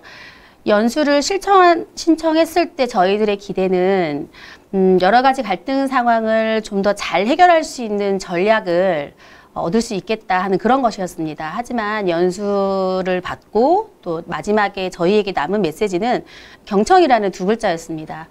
음, 갈등 상황 자체를 생기지 않게 하는 것, 그리고 생긴 갈등 상황을 가장 근본적으로 평화롭게 해결할 수 있는 가장 좋은 비책이 바로 경청이 아닌가 하는 메시지를 받게 됐고, 어, 경청을 주제로 조금 더 연구해보자 의기투합을 하게 되었습니다. 어, 두 분 선생님도 사실 학교에서 많이 경험하실 텐데요. 잘 듣는 것, 그것이 잘 안 돼서 생기는 교실 속의 문제 상황들이 굉장히 많죠. 효림 선생님 어떠세요? 어, 네, 저도 학생들에게 애들아 국어 교과서 백쪽 펴라고 분명히 말을 했는데 학생들이 제 말을 듣지 않고 선생님 그래서 몇 쪽인데요? 야 몇 쪽이야? 이런 식으로 계속 되묻는 경우가 굉장히 많았어요. 네, 맞습니다. 그런 경험 아마 교사라면 누구나 하루에도 수십 번 하게 되는 경험이 아닌가 싶습니다. 수현 선생님은 어떠세요? 네, 교실 속 대화에 귀 기울여 보면 서로의 말을 잘 듣지 않아요. 자기 말하기가 너무 바빠서 친구의 말을 끊거나 도중에 끼어드는 일도 빈번하고요. 어, 이런 잘 듣지 않는 문제는 교실 속에서 발생하는 흔한 갈등의 원인이 됩니다. 친구의 이야기에 조금만 귀 기울인다면 이런 갈등은 발생하지 않았을 텐데 하는 생각이 들었습니다. 네, 저희들의 이런 경험을 바탕으로 해서 저희는 경청에 관심을 갖게 됐고 한 해 동안 현장 연구를 진행하게 되었습니다. 그럼 지금부터 좀 더 본격적으로 말씀을 드리겠습니다. 어, 저희가 연구를 진행한 목적은 크게 두 가지입니다. 하지만 그 속에 숨어 있는 저희의 다른 어, 숨어 있는 목적도 있었는데요. 그것은 바로 경청이라는 거에 대해서 저희 연구자들도 문제의식을 정리하고 공감하고 또 저희 연구물을 접하시는 선생님이나 다른 분들도 경청이라는 것이 중요하고 길러져야 되는 어떤 과정이라는 것에 공감해 주십사 하는 것이었습니다. 그런 마음속의 목적을 가지고 연구를 진행한 주된 목적은 크게 두 가지인데요. 하나는 음, 길러질 수 있는 이 경청 능력을 초등학생들이 잘 기를 수 있도록 그 프로그램을 개발하는 것입니다. 그리고 다른 하나는 개발한 프로그램을 학교 현장에서 보다 더 잘 활용할 수 있도록 구체적인 활용 방안을 제시하는 것이었습니다. 음, 이런 연구 목적을 달성하기 위해서 저희가 활용한 방법은 크게 세 가지인데요. 대부분의 연구자님들이 활용하시는 방법과 크게 다르지는 않습니다. 우선 음, 선행 연구 그리고 관련 도서 그리고 교육 과정 요 세 가지를 살펴본 문헌 연구를 진행했고요. 그리고 두 번째로 어, 전문가 집단으로서의 역할을 할 수 있도록 저희 연구팀 워크숍을 진행했는데요. 자문위원님 그리고 관련 전문가 위원님들과 함께 진행을 했습니다. 원래 목적은 음, 같이 만나서 함께 밀도 있게 진행하는 거였지만 코로나 상황 때문에 원격으로 진행하게 됐고 처음에는 조금 우려스러웠지만 시간과 공간의 제약이 없었기 때문에 더 자주 만날 수 있었고 그래서 오히려 결과적으로는 프로그램을 좀 더 정교화하는 데 크게 도움이 되었던 것 같습니다. 그리고 세 번째 방법은 어, 그 저희가 만든 프로그램의 효용성을 검증하는 것이었는데요. 어, 도구를 활용한 양적인 분석 그리고 심층 면담을 활용한 질적인 분석 두 가지를 병행했습니다. 음, 그럼 지금부터는 저희들의 연구 내용, 연구 성과를 크게 세 가지로 나누어서 말씀드리겠습니다. 어, 우선 첫 번째로 문헌 연구를 한 결과인데요. 우선 선행 연구를 저희가 살펴본 바로는 어, 생각보다 관련 선행 연구가 많지 않았습니다. 최근 5년 이내에 어, 진행된 연구물을 보, 보니 한 10편 이내 그리고 그중에 특히 초등학생을 대상으로 한 연구물은 경청 관련 연구는 5편 이내로 굉장히 적었습니다. 어, 적긴 하지만 그 내용들을 살펴보니 경청 능력이라는 것이 의미가 있고 특히 훈련과 프로그램에 대한 어떤 체계적인 단계에 따라서 길러질 수 있는 것이다라는 내용을 저희가 유의미하게 도출했고요. 음, 그리고 두 번째로 시중에 나와 있는 일반 도서들 중에서 경청 관련된 책들은 무엇이 있는지 살펴보았는데 어, 경청을 키워드로 해서 찾은 책과 그리고 그 책들에서 소개하는 경청의 일부가 포함되는 비폭력 대화 또 바람직한 의사소통 이런 것들 관련된 책들을 살펴보았습니다. 아, 마찬가지로 이런 책들에서도 경청이라는 것은 여러 가지 사회생활, 의사소통, 말하기, 듣기, 기본적인 의사생활, 어, 의사표현 활동에 가장 중요하고 기본적인 것이라는 것을 알게 됐고 어, 저희 연구에 조금 더 참고하게 되었습니다. 그리고 세 번째는 학교 현장에 있는 저희가 가장 주목한 부분인데요. 교육과정 속에서는 경청이 어떻게 다루어지고 있는지 살펴보았습니다. 우선 경청이라는 것은 잘 듣는 것이니까 국어의 듣기 영역에 아마 관련 성취 기준이 있을 것이다라고 예상을 했고 먼저 국어과 성취 기준을 분석을 했고 그 다음 관련 교과에는 그런 내용이 없는지 어, 같이 살펴보았습니다. 어, 우선 국어 성취 기준을 분석을 해보니 어, 학년군별로 조금 차이가 있었습니다. 저학년 같은 경우는 1, 2학년군은 경청이 직접적으로 언급된 성취 기준이 있었고요. 3, 4학년 같은 경우는 경청이 직접 언급된 성취 기준은 없지만 의사소통 상황에서 간접적으로 음, 경청이 필요하다거나 하는 그런 성취 기준이 있었고 5, 6학년군은 어, 토의, 토론 등 보다 조금 수준 높은 의사소통 속에서 경청이 전제되어야 하는 성취 기준 이런 것들이 있었습니다. 학년군별로 이렇게 차이가 나는 점은 저희가 나중에 정책 제언을 할 때 많이 반영을 하게 됐고요. 그리고 국어 교과 외에 다른 교과에서는 경청을 어떻게 다루고 있는지 봤는데 어, 의사소통 또는 토의토론, 다른 사람과 소통하는 것들 이런 내용 중심으로 이루어진 성취 기준에는 간접적으로 경청이 전제되어야만 가능하다는 걸 알게 됐고 특히 1, 2학년군 통합교과 같은 경우는 다른 친구들의 이야기를 잘 듣고 의사소통하지 않으면 음, 성취할 수 없는 성취 기준이 꽤 많았습니다. 아, 이렇게 교육과정을 분석을 하고 이 결과를 중심으로 저희가 본격적으로 프로그램을 개발하였습니다. 그럼 프로그램을 어, 개발하는 데 중추적인 역할을 한 정효린 선생님에게 어, 프로그램을 개발한 내용 그리고 활용 방안 등을 직접 들어보겠습니다.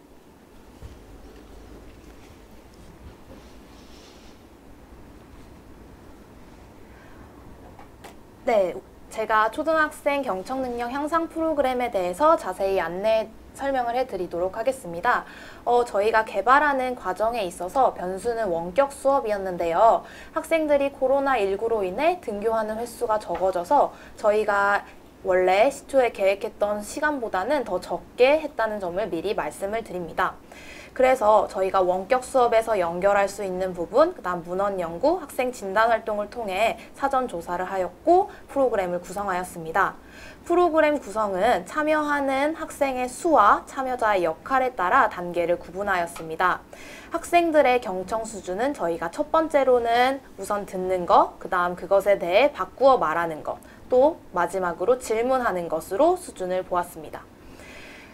어, 경청 능력 향상 프로그램 주제는 크게 세 가지로 나누어 보았는데요. 학생들이 쉽게 접할 수 있는 일상의 것들, 그 다음에 학생들이 소개할 수 있는 내용, 다음 마지막으로는 상상해서 이야기할 수 있는 주제를 잡았습니다. 그럼 자세히 프로그램에 대해서 설명을 드리도록 하겠습니다. 프로그램은 크게 네 가지로 구성이 됩니다. 우선 1단계와 2단계는 학생 2명이서 1대1로 대화를 하는 방식인데요. 학생 A가 주제에 대해 이야기를 하면 학생 B는 학생 A에 대해 이야기를 듣고 그 내용에 대해서 바꾸어 말해줍니다. 제가 한번 예시를 보여드리도록 할게요. 어, 교사가 주, 주제로 가장 기억에 남는 선물은 무엇이니? 라는 주제를 주었을 때 학생들에게 생각할 시간을 잠시 준 다음 학생 A가 내가 받았던 선물 중에 가장 기억에 남는 선물은 바로 수면 바지야. 왜냐하면 수면 바지의 느낌이 뽀송뽀송해서 마치 이불을 덮고 있는 것 같았거든. 그래서 잠이 되게 잘 오고 색깔도 내가 좋아하는 하늘색이라 난 그 선물이 가장 기억에 남아. 라는 식으로 학생 A가 말을 하면 학생 B는 그것을 잘 경청한 다음 이와 같이 바꾸어 말해줍니다. 아, 너는 가장 기억에 남는 선물이 수면 바지구나. 맞아. 이불 같아서 뽀송뽀송하고 그 다음 네가 좋아하는 맞아. 하늘색이었어. 이런 식으로 바꾸어 말해줍니다. 이 단계가 끝나면 학생 A와 학생 B의 역할을 바꾸어서 진행을 하게 됩니다. 그 다음 2단계는 1단계에 질문하기를 추가하는데요. 학생 B가 단순히 바꾸어 말해줄 뿐만 아니라 여기에서 자신이 궁금한 점을 학생 A에게 질문을 해줍니다. 예를 들면 너 그 선물 어디에서 받았어? 혹은 그 선물을 받았을 때 처음 기분이 어땠어? 이런 식의 질문을 하고 이게 점점 익숙해진 학생들은 3단계에서 학생 3명이서 이것을 진행하게 됩니다. 학생 A가 말을 하면 학생 B는 바꾸어 말해주고 학생 C는 질문을 합니다. 그 다음 마지막 4단계로는 점점 인원수를 추가하여 4명의 학생이 학생 A가 말을 하고 학생 B는 바꾸어 말해주고 학생 C는 내용에 관한 질문을 하고 학생 D는 마음에 관한 질문을 합니다. 저희가 경청 능력 향상 프로그램 보고서에서는 이 두 개의 마음 질문과 내용 질문을 구분해 놓았지만 사실상 이것을 구분하는 것은 크게 의미를 가지시지 않으셔도 됩니다. 네, 프로그램을 본격적으로 적용하기 전에는 브레인스토밍으로 경청에 관해서 학생들이 알고 있는 것에 대해서 함께 이야기를 나누거나 경청과 관련된 그림책을 읽어보는 것을 추천을 드립니다. 그리고 프로그램을 적용할 때 있어서는 1단계에서 4단계까지 순차적으로 적용을 하시되 최소한 각 단계별로 2회 이상 반복하시기를 추천을 드립니다. 어, 우리 교실의 상황에 맞춰서 학생들이 조금 학생 수가 많아짐에 따라 어, 경청하는 것을 어려워하면 교사가 자율적으로 조절하셔도 됩니다. 그럼 유의점에 대해서 제가 두 가지 정도 말씀드리겠습니다. 첫째, 학생들에게 말을 하기 너무 어려운 주제는 지양하시는 게 좋습니다. 학생들이 잘 듣는 것, 경청에 집중하기보다는 내가 무슨 말을 해야 하지? 라는 말하기에 초점을 맞출 수 있기 때문입니다. 둘째, 나열식의 주제는 지양하는 것이 좋습니다. 내가 아침에 일어나서 밥을 먹고 세수를 하고 양치를 하고 이런 식의 나열을 하는 주제는 지양하는 것이 좋습니다. 이 프로그램을 활용하실 때 관련 교과와 연계하셔서 활동에 사용하실 수도 있고 혹은 학생들의 동기 유발이나 정리 활동에 사용하실 수 있으실 것입니다. 그리고 학기 초에 레포가 형성되지 않은 교사와 학생 간 혹은 학생과 학생 간의 경청 능력 향상 프로그램을 진행함으로써 학생들이 서로에 대해서 더 잘 알 수 있는 기회가 될 것입니다. 마지막으로 학생들에게 갈등 상황이 발생하거나 문제가 생겼을 때 경청 능력 향상 프로그램을 적용하여 이를 해결할 수도 있을 것입니다. 네, 그럼 다음은 어, 실제로 프로그램을 적용한 후에 이 프로그램의 효용성을 검증한 내용을 어, 그 부분에 중추적인 역할을 한 김수현 선생님께 들어보겠습니다.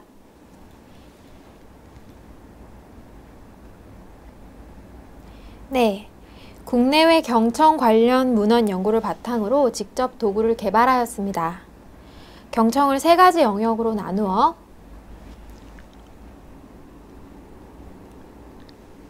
경청에 대한 인식, 경청 태도, 경청 능력으로 개발하였습니다. 설문지는 교사용, 학생용, 그리고 사전, 사후로 구분되어 총 4가지로 구성하였습니다. 교사용 설문은 질적 분석을 위한 반구조화 면담 질문지 형태이고 학생용 설문은 양적 분석이 가능한 5점 척도형 자기평가 체크리스트와 질적 분석이 가능한 방구조와 면담 질문이 함께 포함된 형태입니다.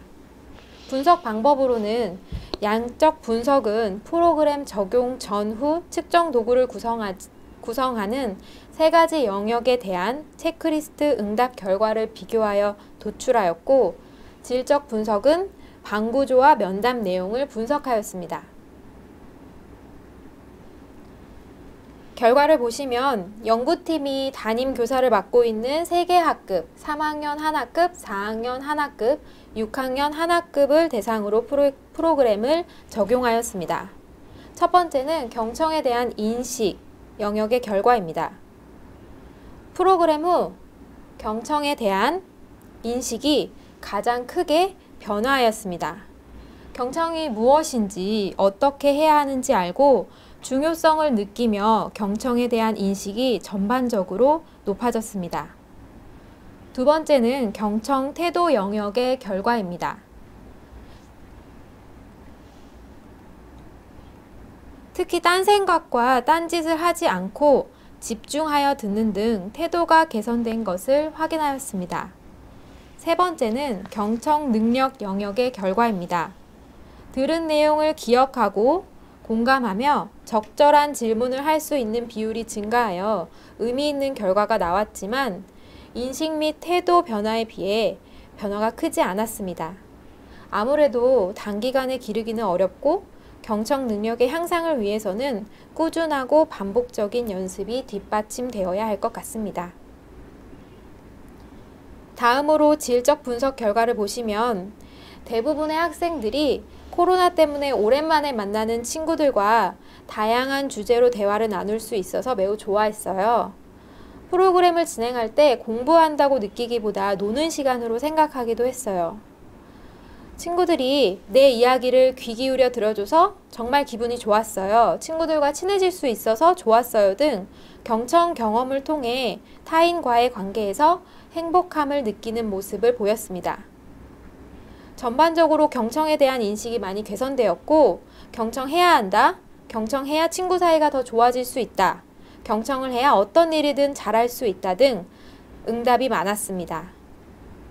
이러한 반응들은 학생들이 경청의 중요성을 실감하고 인식이 많이 개선되었다고 볼 수 있습니다.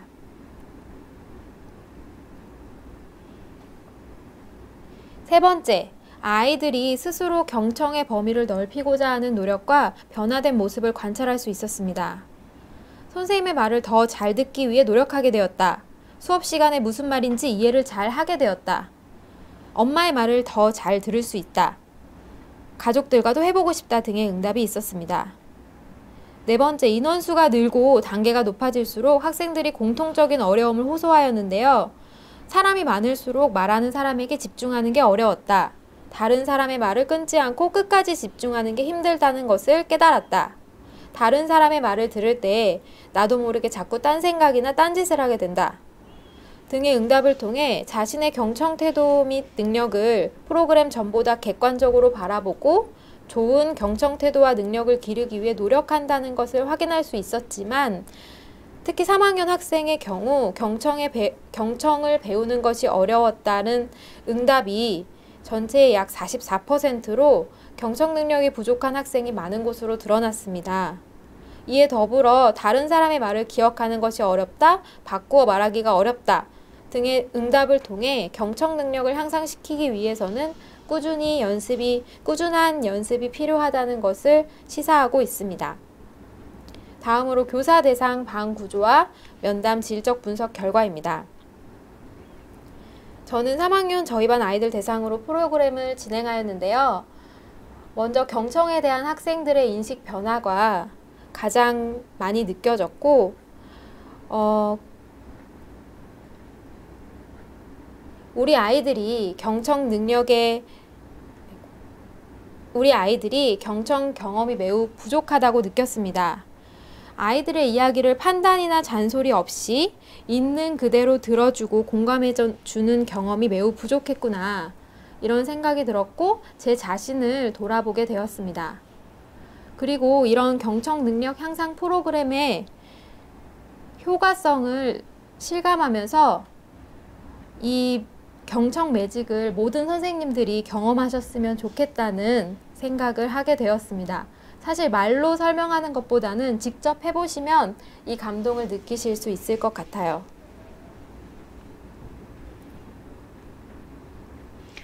네, 그럼 어, 이렇게 진행한 저희의 연구 내용과 연구 결과를 바탕으로 해서 저희는 다음과 같이 네 가지 정책을 제안하고자 합니다. 우선 저희가 개발한 경청 능력 향상 프로그램이 초등학교 1, 2학년 안정과 성장 맞춤 교육 과정의 일부로 활용되기를 권합니다. 어, 성취 기준 분석 결과를 보면 1, 2학년군 저학년 때 경청 능력을 직접적으로 기르도록 제시되어 있고 그것이 잘 이루어졌을 것이라는 전제 하에 3, 4, 5, 6학년의 성취 기준들이 제시되고 있습니다. 그만큼 저학년 때 어, 경청 능력을 충분히 잘 기르는 것이 중요하다는 생각인데요. 그래서 초등학교 1, 2학년 안정과 성장 맞춤 교육 과정의 일부로 저희가 개발한 경청 능력 향상 프로그램이 활용되기를 제안합니다. 네, 두 번째로는 인성교육 정책의 일환으로 활용되기를 제안합니다. 학생들이 다른 사람의 말을 끝까지 주의 깊게 끼어들지 않고 듣는 것은 배려와 존중을 배울 수 있는 아주 귀중한 시간이라고 생각이 되기 때문에 인성교육 정책으로서 활용되기를 제안합니다. 네, 세 번째로 코로나 시대의 미래 교육으로 여겨졌던 원격 수업은 이제 우리 현실입니다. 비대면 수업에서 경청 태도와 능력은 수업 목표 달성과 직결되는 필수적인 요소입니다. 보다 원활하고 효과적인 원격 수업을 위해 학기 초 경청 능력 향상 프로그램을 적극 권장합니다. 네, 마지막으로 이렇게 교육 현장에서 잘 활용될 수 있도록 그리고 교사도 경청하는 어른으로서 성장할 수 있도록 교원 연수의 과정으로 저희의 프로그램이 활용되기를 제안합니다. 음, 여기까지 정책 재원을 하기까지 올 한 해, 지난 한해 어, 연구의 과정이 쉽지는 않았지만 어, 연구를 잘 마무리할 수 있게 된 건 저희 팀원들의 노력도 있고 자문해주신 자문위원님들의 그런 기여도 있었던 것 같습니다. 진심으로 감사드리고요. 어, 이번 연구를 하면서 무엇보다 저희가 얻었던 결실은 과연 우리는 경청하는 어른인가, 우리는 경청하는 교사인가, 우리를 돌아보게 했다는 것이 아닌가 생각이 듭니다. 그런 마음을 마음에 잘 새기고 이번 연구를 마무리했고 오늘 오, 지금 오늘 전해드리는 이야기를 마무리하고자 합니다. 들어주셔서 고맙습니다. 그럼 우리 모두 경청합시다. 네, 안녕하십니까. 아, 안전 건강 교육, 교수 학습 설계 역량 제고를 위한 연구로 아, 2020 서울시 교육청 어, 현장 연구를 어, 맡아서 안간힘 팀이라고 해서요. 어, 저희들이 아, 연구 책임자로서 1년 동안 진행했던 연구의 어떤 과정이나 결과들을 아, 비록 아, 뭐 우수하지는 않지만은 그 노력했던 결과들을 여러분들에게 같이 나눌 수 있는 어떤 이런 기회가 돼서 어, 뭐 이렇게 정밀하게는 아니더라도 간략하게나마 소개할 수 있는 기회가 부여돼서 여러분들에게 저희 연구의 어떤 과정과 어떤 결과 또 재현에 대해서 말씀을 좀 드리도록 하겠습니다. 어, 사실 저희들은요, 어, 안전 건강에 대해서 특히 작년에 이제 코로나19로 인해서 여러 가지 어떤 어려움들이 있었는데 그것을 목적으로 연구를 했던 건 아니고요. 안전 건강 교육에 대한 관심이 좀 높으신 분들을 어, 좀 같이 모아서 이쪽에 어, 연구물들이 많이 부족한데 같이 연구를 좀 하면 어떻겠느냐라고 해서 어, 시작하게 되었습니다. 이제 그러다 보니까 이제 코로나19 상황도 오고 또 여러 가지 어떤 어려운 상황이 생기다 보니까 저희들이 조금 주목을 받았던 것 같습니다. 자, 저희들 같은 경우에는 가급적이면 안전, 건강, 학생들의 아, 안전하고 건강한 학교 생활을 어떻게 하면 보장해 줄 수 있을까? 그러기에 가장 중요한 게 이제 어, 교사들의 어떤 전문성, 교수학습 설계에 있다라고 생각이 되었습니다. 그래서 가급적이면 어, 초중고등학교가 같이 모여서 할 수 있는 그런 장을 마련하기 위해서 어, 연구진을 이제 같이 음, 그 뜻을 모은 연구진을 모았을 때 초중고등학교가 같이 할 수 있는 그래서 이제 학교 급별로 안전 건강 교육 그 영역을 교수 학습 지도안을 현장에서 개발하는 건 어떻겠느냐 이제 이렇게 시작이 됐습니다. 아, 저희 안간힘 팀은요, 지금 제가 이제, 이제 성명을 일단 그 기록은 하지 않았지만은 초등학교에서는 이제 미래초등학교 이순호 선생님이 이제 참여를 하셨고, 아, 중학교에서는 신정여 중에 안희정 선생님, 아, 고등학교에서는 청원고등학교의 신성현, 이화외고의 아, 사보율, 성수공고의 한정은 선생님이 참여해 주셨습니다. 자, 이제 저희 연구 결과를 이제 간략하게 말씀을 좀 드리도록 하겠습니다. 자, 처음에 연구를 이제 시작을 할 때요, 이제 학교 안전 사고가 많이 발생을 해서 안전이나 건강이 굉장히 강조되는 상황이 이제 부여가 되고 있었죠. 그런 상황이. 어, 특히 세월호 이후에 여러 가지 안전에 대한 어떤 그 뭐 시스템이라든가 환경을 조성한다든가 계획을 수립하는 것들은 굉장히 체계적으로 진행이 되고 있다라고 어, 생각이 됩니다. 그런데 이제 어, 현장에서 어떤 특정한 어떤 교과가 없다 보니까 안전 건강에 대해서 수업을 뭐 하고 싶다라고 했을 경우에 자료라든가 특히 이제 우리가 가장 필요했던 교수 학습 지도안을 어, 각 교과에 맞게끔 개발돼 있거나 또 그게 또 현장에 배포되고 홍보되기까지는 상당히 부족한 상황이다라고 어, 인식들을 하고 있었습니다.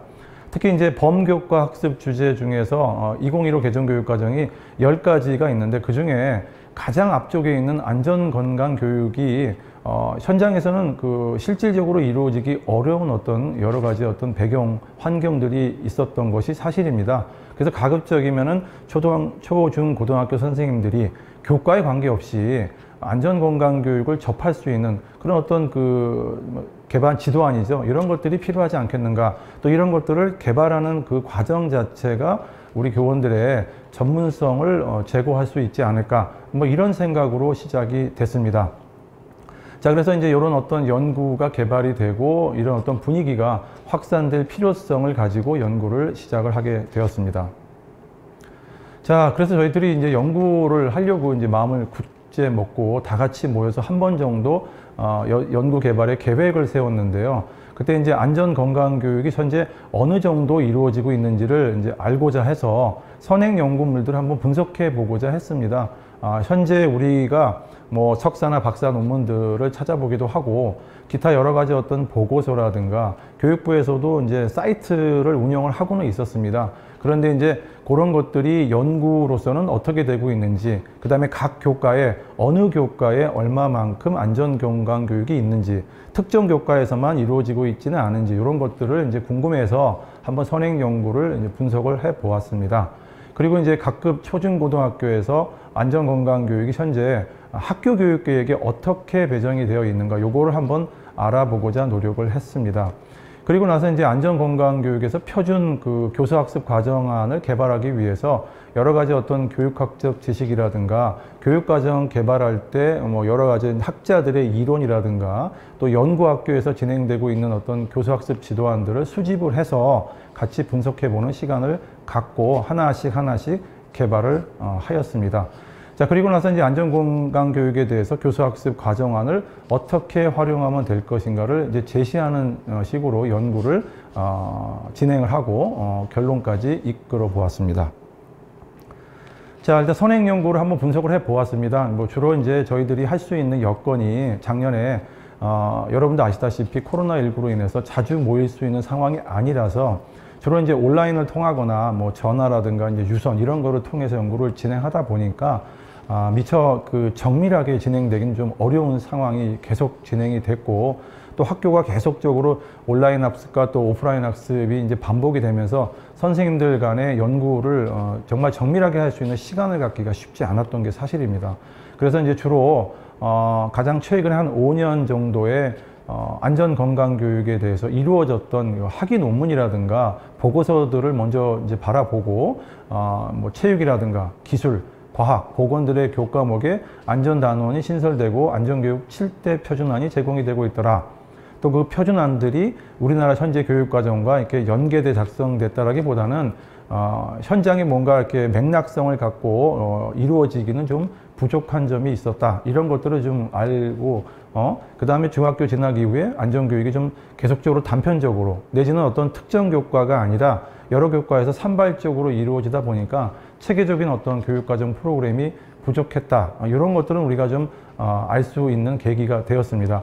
어, 결론적으로 2015 개정 교육과정이 이제 2020년에 모든 중고등학교가 초중고등학교가 전부 다 적용이 되고 있는데 그 교육 어, 과정하고 안전과 건강 쪽의 어떤 연계성을 찾기는 아직까지는 좀 부족하지 않았는가 이 아, 정도 선에서 저희들이 아, 조금 더 어, 인식을 갖고 연구를 진행할 수 있는 어떤 그 기반이 됐다라고 보여집니다.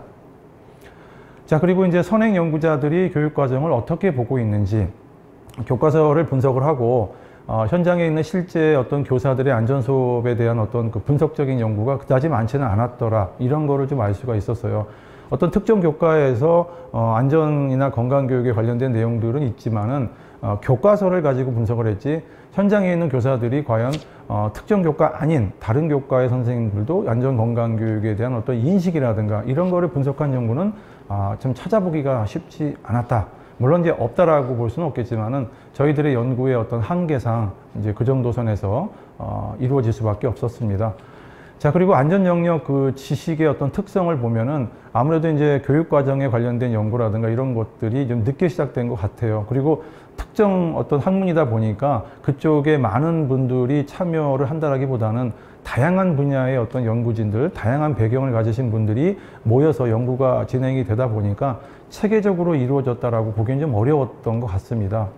그리고 이제 현재 보건교육, 안전교육 이런 것들을 실천하는 교사들이 물론 있습니다. 현장에 뭐 어, 체육 선생님, 보건 선생님, 그 다음에 어, 창체 활동, 초등학교 같은 경우죠. 그 다음에 또 안전당원이 이미 어, 뭐 설치가 된 교과도 있고 안전이라고 하는 어떤 창체 활동에서 이제 교과목으로 만들어지기도 했습니다만 어, 실제 교사들이 그 안전 건강 교육에 대해서 어, 어떤 어, 큰 어떤 인식을 가지고 있느냐 그렇지는 않았던 것 같아요. 어, 다양한 연구자들을 어, 수업은 진행한다라고는 얘기하지만 어, 실제적으로 뭐 연구 수업을 하거나 어, 뭐 어떤 뭐 특정 어떤 공개 수업을 안전 건강 교육으로 하는 경우가 어, 특히 작년 같은 경우에는 어, 여러 가지 어떤 그 환경상 어, 제한이 많아서 진행되기 어려워서 실제적으로 이루어지고 있는 학교에 우리가 자료를 얻기는 굉장히 어려웠다 이렇게 말씀드릴 수가 있습니다. 자 그리고 이제 저희들이 이제 표준 이제 교수학습 과정안을 이제 개발을 이제 했습니다. 뭐 어찌됐건 간에 어떤 특정한 기간이지만 어, 자주는 모이지 못했습니다. 여러 가지 환경상 자주는 모이지 못했지만 온라인상으로 또 전화상으로 이제 연락을 주고 받으면서 한 번 모였을 때 어떠어떠한 과제가 주어지고 토론을 또 하고 또 부족한 것들은 또 다시 한번 또 그 다음 연구할 때 다시 한번 또 보내오기도 하고 이런 과정을 거쳤어요. 처음에는 이제 단원이라든가 수업자의 의도가 좀 들어갔으면 좋겠다. 원, 원래는 이제 우리 연구자들 외에 다른 연구자들, 특히 실천하고 계신 분들의 어떤 자료를 수집을 하고 거기에 따라서 우리 연구자들이 직접적으로 어떤 자료를 만들어서 실천을 하고 거기에 따른 결론을 얻고자 했는데 아, 코로나19 상황으로 인해서 굉장히 제약이 많았습니다. 그래서 어찌됐건 간에 우리 연구자들만이라도 실천을 하고 거기에 따라서 어, 적절하게 어떤 결론을 맺어보자. 이런 차원에서 어, 어떤 단원을 만들어 보고 수업자의 어떤 그 의도가 어떠냐. 아무래도 이제 안전 건강 교육이기 때문에 어, 수업자의 의도가 좀 필요할 것 같아서 이런 내용을 좀 넣었고 그 다음에 그 영역 안전 영역 그 다음에 성취 기준이라든가 핵심적인 개념 핵심적인 질문을 우리가 반드시 넣어서 어, 수업을 진행해 보면 어떻겠는가 해서 과정안을 만들 때 그런 어떤 항목을 우리들이 연구해서 한번 넣어보자. 어, 그래야 이제 체계적인 어떤 학습이 이루어지지 않겠는가 이런 얘기들을 하면서 표준학습 과정안을 만들기 했습니다. 자, 그리고 이제 본시 교수 학습 과정안을 만들 때, 물론 이제 기존의 연구학교라든가 여러 학교들의 어떤 자료를 모으는 와중에서 안전건강교육이 실질적으로 어, 이루어지지는 못했습니다. 아, 그래서 우리들이 그러면 한번 어, 만들어 보고 우리들이 직접적으로 실천을 하자. 그 다음에 우리들이 서로 수업을 참관하면서 거기에서 피드백을 얻은 그런 자료가 규정할 것 같다 라고 했지만은 실질적으로 코로나 상황으로 인해서 다른 학교를 방문하는 것도 불가능하게 있어서 어, 선생님들이 연구자들이 직접 그 과정안을 우리가 만들고 실제적으로 해본 이후에 그 다음에 다시 한번 이렇게 수정하는 과정을 거쳤습니다. 자 그리고 어, 우리는 가급적이면 2015 개정교육과정의 내용들을 이제 부합을 하면서도 어떤 공통성의 어떤 내용도 부합을 하고 그 다음에 학교, 학생들의 어떤 특성도 반영하는 다양성도 반영을 하면서 과정 중심에도 평가도 가능하지 않겠는가라고 해서 한번 과정 중심의 평가도 넣어보자 라고 해서 어, 표준학습 과정안을 이제 개발을 하게 되었습니다. 물론 이게 어, 완벽하지는 않지만은 우리가 그동안에 이제 거치면서 어, 안전 건강 쪽에 어떤 좀 특화된 내용 내지는 이 영역과 좀 관련성이 높은 어떤 교수 학습 과정은 어떨까 이래서 이제 어, 여러 연구 학교들 또는 어, 기존의 연구 수업을 하고 계신 분들의 자료를 모았습니다. 음. 자, 그래서 교수학습 과정 안에 어떤 특징점을 좀 보시면은 이제 체육과에 관련된 거죠. 저희들이 물론 이제 뭐 최근에 교수평기 뭐 일체화라든가 교육과정 수업 평가의 어떤 일관성을 유지해야 된다라는 어떤 그런 패러다임에 우리가 부합을 하면서 교수학습 과정을 만들려고 노력을 했습니다. 그 중에서도 이제 아무래도 체육 쪽이 가까운 게 많고 우리 연구진 중엔 또 체육과 선생님도 계셨기 때문에 안전 응급 조치에 관련된 내용들을 이런 어떤 그 패턴으로 한번 어, 진행을 해보자. 그래서 이제 안전 영역에 어떤 영역이 해당이 되느냐. 기존의 어떤 교육부라든가 국가에서 만들어 놓은 영역이 있었는데 그 영역하고 본인이 하고자 하는 어떤 교과와 관련성을 가질 때 어디에 연관성이 있느냐 그래서 그걸 한번 표시하는 영역을 강조해 보면 어떻겠느냐라고 한번 했습니다. 그래야 아, 안전교육 7대 영역은 이왕에 좀 기왕에 잘 만들어진 게 있기 때문에 학교하고의 연관성을 한번 찾아보고자 했던 것입니다. 그리고 이제 작년 같은 경우에 코로나19로 인해서 원격 수업 또 대면 수업이 이렇게 계속 동시에 이루어지기도 하고 급박하게 변하기 때문에 아, 우리들이 또 이런 얘기도 했습니다. 그러면은 이 수업이 원격 수업으로 또 이렇게 대면 수업으로 이렇게 같이 동시에 이렇게 이루어질 수는 없을까? 이런 얘기를 하면서 원격 수업하고도 관련성을 가져보자 이렇게 노력을 좀 했습니다. 자, 그래서 이제 핵심적으로 어, 그 보건 안전 개념을 이제 적어보자라고 해서 어, 핵심 개념이 과정 안에 명확히 드러나도록 했습니다. 아무래도 이제 2015 개정 교육 과정의 기본적인 어떤 그 지향점이 핵심 개념 또 일반화된 지식을 학생들에게 심도 있게 이해해 주자라는 측면이 있었기 때문에 특히 이제 어, 보건 안전 또 안전과 관련된 학생들의 건강을 하기 위해서는 이런 어떤 핵심적인 개념이 에, 과정 안에 명확히 드러나도록 따로 별도로 적을 필요가 있다라고 해서 그걸 적고 거기에 따라서 핵심적인 질문 또는 발문을 한번 우리가 구체적으로 기록을 하면 어떻겠는가라고 해서 어, 발문에 대해서만 별도로 이렇게 연구도 하고 서로 간에 이야기를 하면서 한번 체크를 하는 시간을 어, 가졌습니다. 자, 이거는 이제 초등에서 교수학습 과정한 어떤 예시로 이제 재령된 거거든요. 초등 같은 경우는 이제 교과가 아, 뭐 체육 이외에도 여러 교과가 있을 수가 있습니다. 그 중에서도 이제 7대 안전 영역, 특히 응급처치와 관련해서 운동할 때 일어나는 응급 상황별 대처에 대해서 이렇게 조금 전에 말씀드렸던 그 개발안 있죠. 요거를 초등에서 한번 이렇게 어, 만들어 보고 진행을 해 보았습니다. 자 그리고 이제 초등에서도 또 창체 교과도 또 있죠. 창체 교과에서 자치 안전과 같이 연결을 해서 생활 재난에서는 어떨까 해서 내용은 전염병 예방을 위한 학년 규칙 만들기라고 해서 초등에서도 한번 진행을 해봤던 내용들이고요. 자, 중등 같은 경우에는 여러분들이 우리 연구진 중에는 이제 수학 교과 선생님도 계셨습니다. 그래서 수학 교과 선생님들이 안전건강 교육을 어떻게 하느냐 이제 의문이 많았는데 자, 우리 어떤 교과든지 보험교과 학습 주제로서 안전건강이 있기 때문에 이거는 어떤 교과든지 다 할 수 있다. 한번 그 맥락적으로 연결을 한번 줘보자 해가지고 생활 재난 영역 쪽에 현, 그 현재 우리가 살고 있는 이 사회에서의 안전 건강 관련된 통계 자료를 정리해 보는 걸로 한번 맥락적으로 이어보면 어떨까 이런 생각으로 진행이 됐습니다. 이게 바로 그 내용입니다. 자, 그러면 체육교과에서는 아까 말씀드렸듯이 응급처치와 관련된 내용들을 한번 어, 건강안전 교육 쪽에서 이렇게 진행하면 어떨까 해서 심폐소생술에 관련된 내용들을 조금 더 체계적으로 정리를 해보는 시간을 가졌고요. 자, 중국어 우리 선생님 한분 계셨습니다. 그래서 이제 중국어 교과 선생님께서도 우리 생활 재난 쪽에 어, 감염 증상하고 예방 수칙의 의사소통에 관련돼서 한번 어, 연구를 진행하고 직접적으로 수업도 해보시고 거기에 따라서 학생들의 어떤 의견도 받아보는 시간을 가졌습니다. 어찌 보면은 음, 거리가 좀 멀어 보이는 교과이지만은 우리가 어, 아까 말씀드렸듯이 범교과 학습 주제를 어, 소위 말하는 거리가 좀 멀어 보인다라고 생각했던 교과에서도 이렇게 한번 어, 맥락적으로 연계성을 가지고 해볼 수 있다. 뭐 이런 면에서는 어, 나름대로 어떤 시사점을 찾을 수가 있었습니다. 그래서 이렇게 의사소통과 관련해서 어, 감염 증상, 그 다음에 예방 수칙을 소위 말하는 이제 그 나라 언어죠. 중국어로 했을 때 어떻게 하면 학생들이 학습에 중국의 효과도 되면서 안전 건강도 한번 찾아볼 수 있는 어떤 기회가 아, 됐었습니다. 자, 우리 보건 교과도 굉장히 밀접한 교과죠. 그래서 저희는 그 연구진을 어, 다양성을 확보하기 위해서 보건 교과 선생님도 들어오셨는데요. 어, 마찬가지로 이제 생활 직업 영역하고 연관을 져서 직업병을 이제 어떻게 하면 우리가 어떤 요인으로 인해서 발생을 하고 예방할 수 있는 방법은 어떤 것이 있는가를 주장, 다양한 어떤 주제를 이제 우리가 가져보려고 애를 썼습니다. 어, 그래서 이렇게 보건에서도 이런 내용이 있었고요.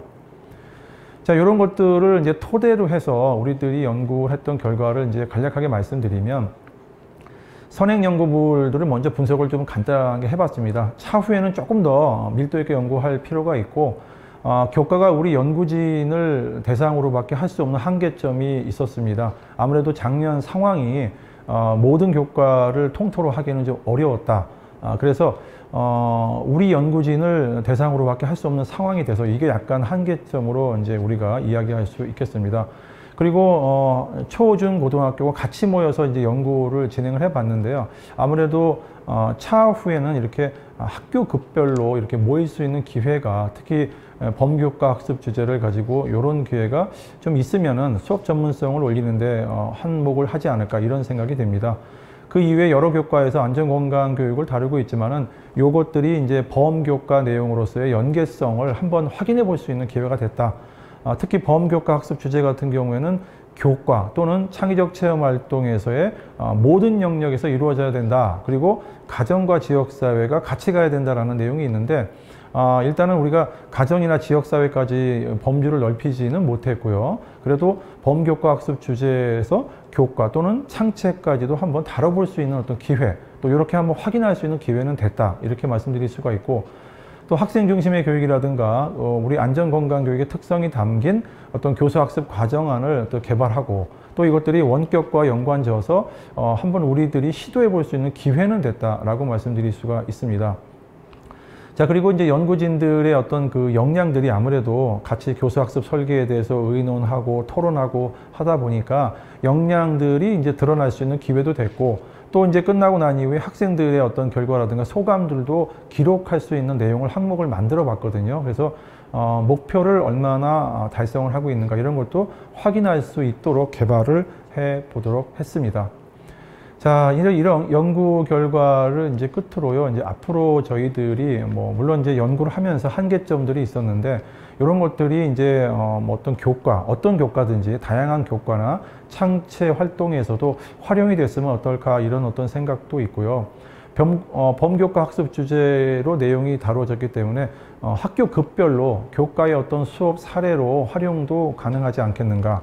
그 다음에 이제 차후로는 학교 급별로 교과별로 안전건강교육이 이제 지속될 필요가 있을 것 같다. 아무래도 작년에는 어떤 초보적 단계 또 한계성을 가진 상태에서 있었기 때문에 추후에는 이런 것들이 좀 더 체계적으로 진행되면 어떨까 이런 생각이 듭니다.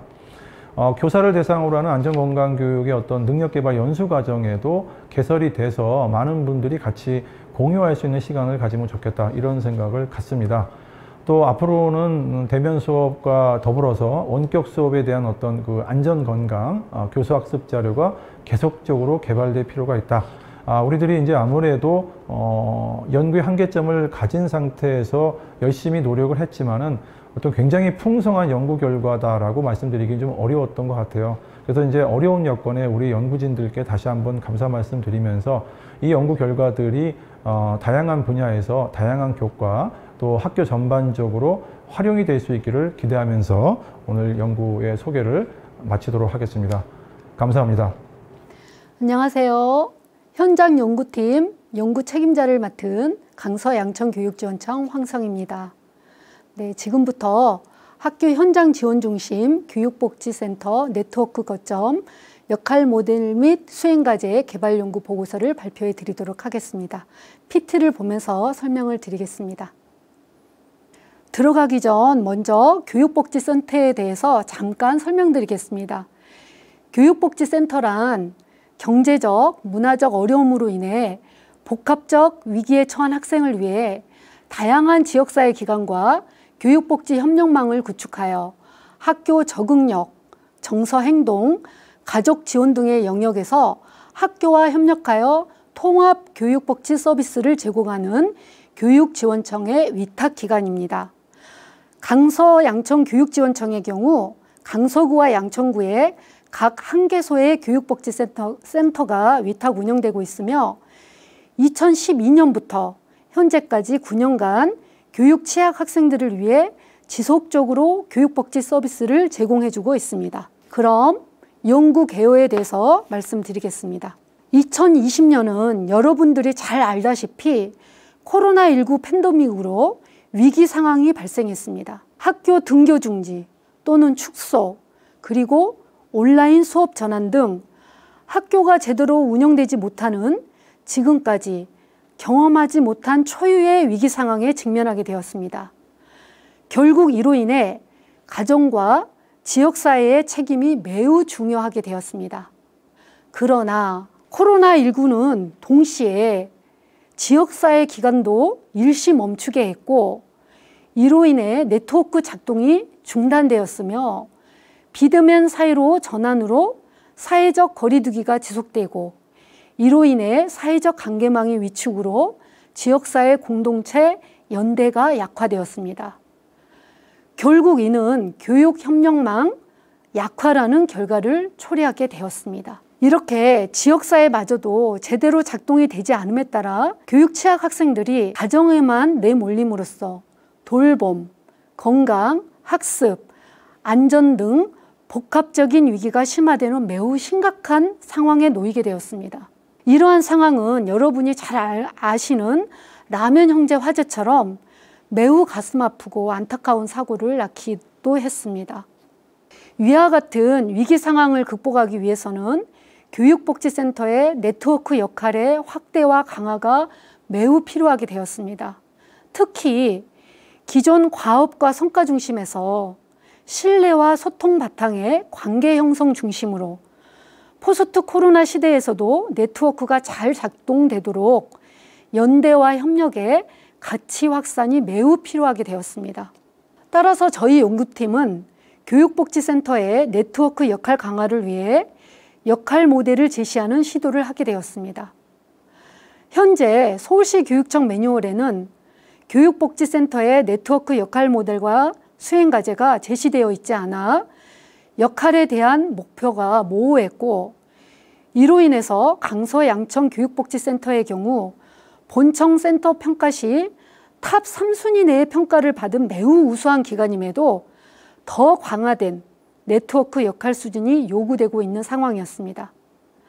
또한 사회 환경 변화로 인한 물리적 거리와 관계 단절을 극복하기 위해 관계 형성이 중요해짐에 따라서 본 연구에서는 근본적으로 네트워크란 무엇인가에 대하여 실천 기관의 태도와 방향성, 근본 가치를 담은 역할을 제시하고자 하였습니다. 연구 과제와 범위에 대해서 설, 말씀을 드리면 교육복지센터의 네트워크 거점 역할 모델 개발과 역할 수행을 위한 과제 개발이 앞에서 말씀드린 바와 같이 과제로 삼았고요. 연구 범위는 강서 양천 교육복지센터 두 개소를 대상으로 하였습니다. 연구 결과는 어, 서울시 교육청 25개 지역 교육복지센터에 적용이 가능할 것으로 생각됩니다. 연구 절차에 대해서 간략히 설명드리면 먼저 연구 시작 전 개발 방향을 설정하고 연구 목표를 명확하게 하기 위해 아웃풋 이미지를 도출하여 연구원들과 사전에 공유하였습니다. 그 다음 이론적 고찰, 현황 분석, 외부 전문가의 슈퍼비전, 현장 사례 등을 통해 기본 역할과 과제를 설계하였습니다. 마지막으로 자문위원회 검토를 거쳐서 최종 역할 모델과 수행 과제를 확정하였습니다. 연구 결과를 간략히 요약하여 말씀드리면 첫 번째, 크게 세 가지 측면으로 역할 모델을 제시하였습니다. 두 번째, 세 가지 역할에 대하여 세부 역할을 체계화하였으며 역할 정의, 설정 배경의 개념을 정립하였습니다. 마지막 세 번째는 각 역할에 따른 수행 과제를 제시하고 평가 지표 연계성을 제시하였습니다. 아울러 실제 현장의 활용을 돕기 위해서 네트워크 단계별 추진 내용과 과제 수행 진단 체크리스트를 구체적 활용 자료로 추가 제시하였습니다. 네, 이어서 연구 실적에 대해서는 실제로 센터를 운영하시는 박자양 강서교육복지센터장님께서 설명을 해주시겠습니다.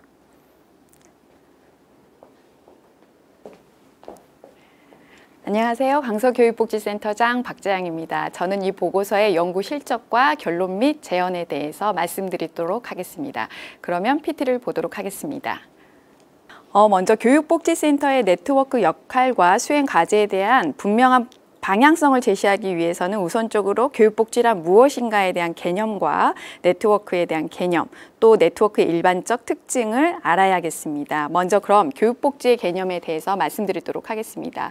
세 가지로 보실 수 있는데요. 교육은 인간다운 삶의 조건을 구현한다. 라는 입장과 사회복지에 속하는 하나의 영역으로 간주한다. 그리고 마지막으로 사회복지 한 구성 요소, 교육지원 활동을 교육복지로 보는 관점이 있겠습니다. 그러면 네트워크의 개념은 무엇인가? 조직과 조직 간에 형성된 연계 체계다. 한마디로 계급이 없는 공동체라고 볼 수 있겠습니다. 그리고 한 지역의 종합적 체제를 전제로 한 지속성을 가지는 개념으로 볼 수 있습니다. 즉, 네트워크의 일반적 특징은 고객의 이익을 목적으로 하며 상호작용을 통해 목적을 공유하는 역동적인 구조로서 인간적인 유대를 강조하면서도 상황에 따라 연계의 형태와 내용을 조정하는 융통성을 발휘하는 특성을 가지고 있다고 볼 수 있겠습니다. 지금 화면에 보시는 바와 같이 지역교육복지센터 운영 현황은 2019년 지역교육복지센터 운영 매뉴얼에 나와 있는 내용입니다. 보시는 바와 같이 지역교육복지센터를 중심으로 학교와 지역기관이 있습니다.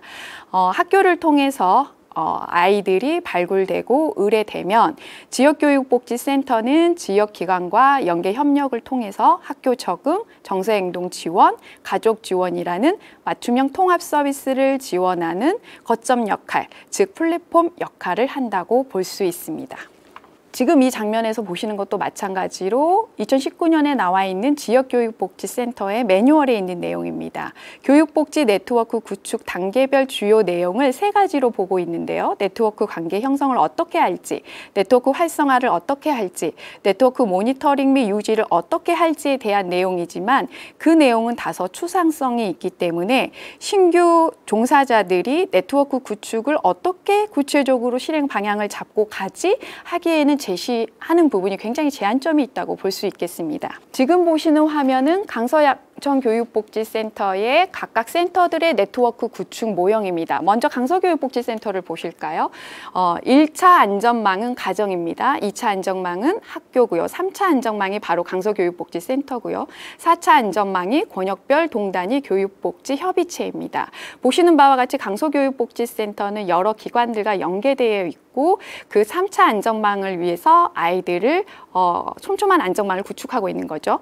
어, 그리고 양천교육복지센터를 보시면 협력단이 구성되어 있죠. 교육복지 공동체가 구성되어 있죠. 그리고 정기협의회를 통해서 이렇게 아이들의 안전망을 확보하고 있습니다.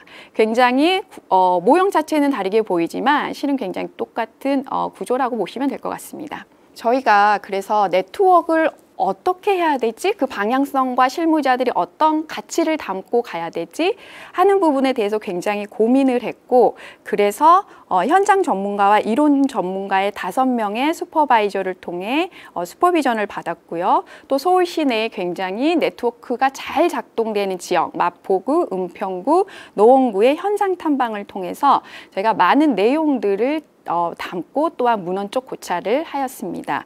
먼저 슈퍼비전과 현장 탐방을 통해서 어, 저희가 얻은 내용은 크게 세 가지라고 보시면 될 것 같은데요. 첫 번째, 네트워크는 결국 사람이 움직이는 체계이다. 두 번째, 네트워크는 목적이 아니라 수단이다. 어, 가끔 현장에서 네트워크가 목적이 되는 경우가 굉장히 많은데 이 부분이 굉장히 중요한 부분이라고 볼 수 있겠습니다. 그리고 네트워크는 계약이 아니라 협약이다. 즉 상하 갑을 관계가 아니라 협력의 관계, 즉 수평적 관계라는 겁니다.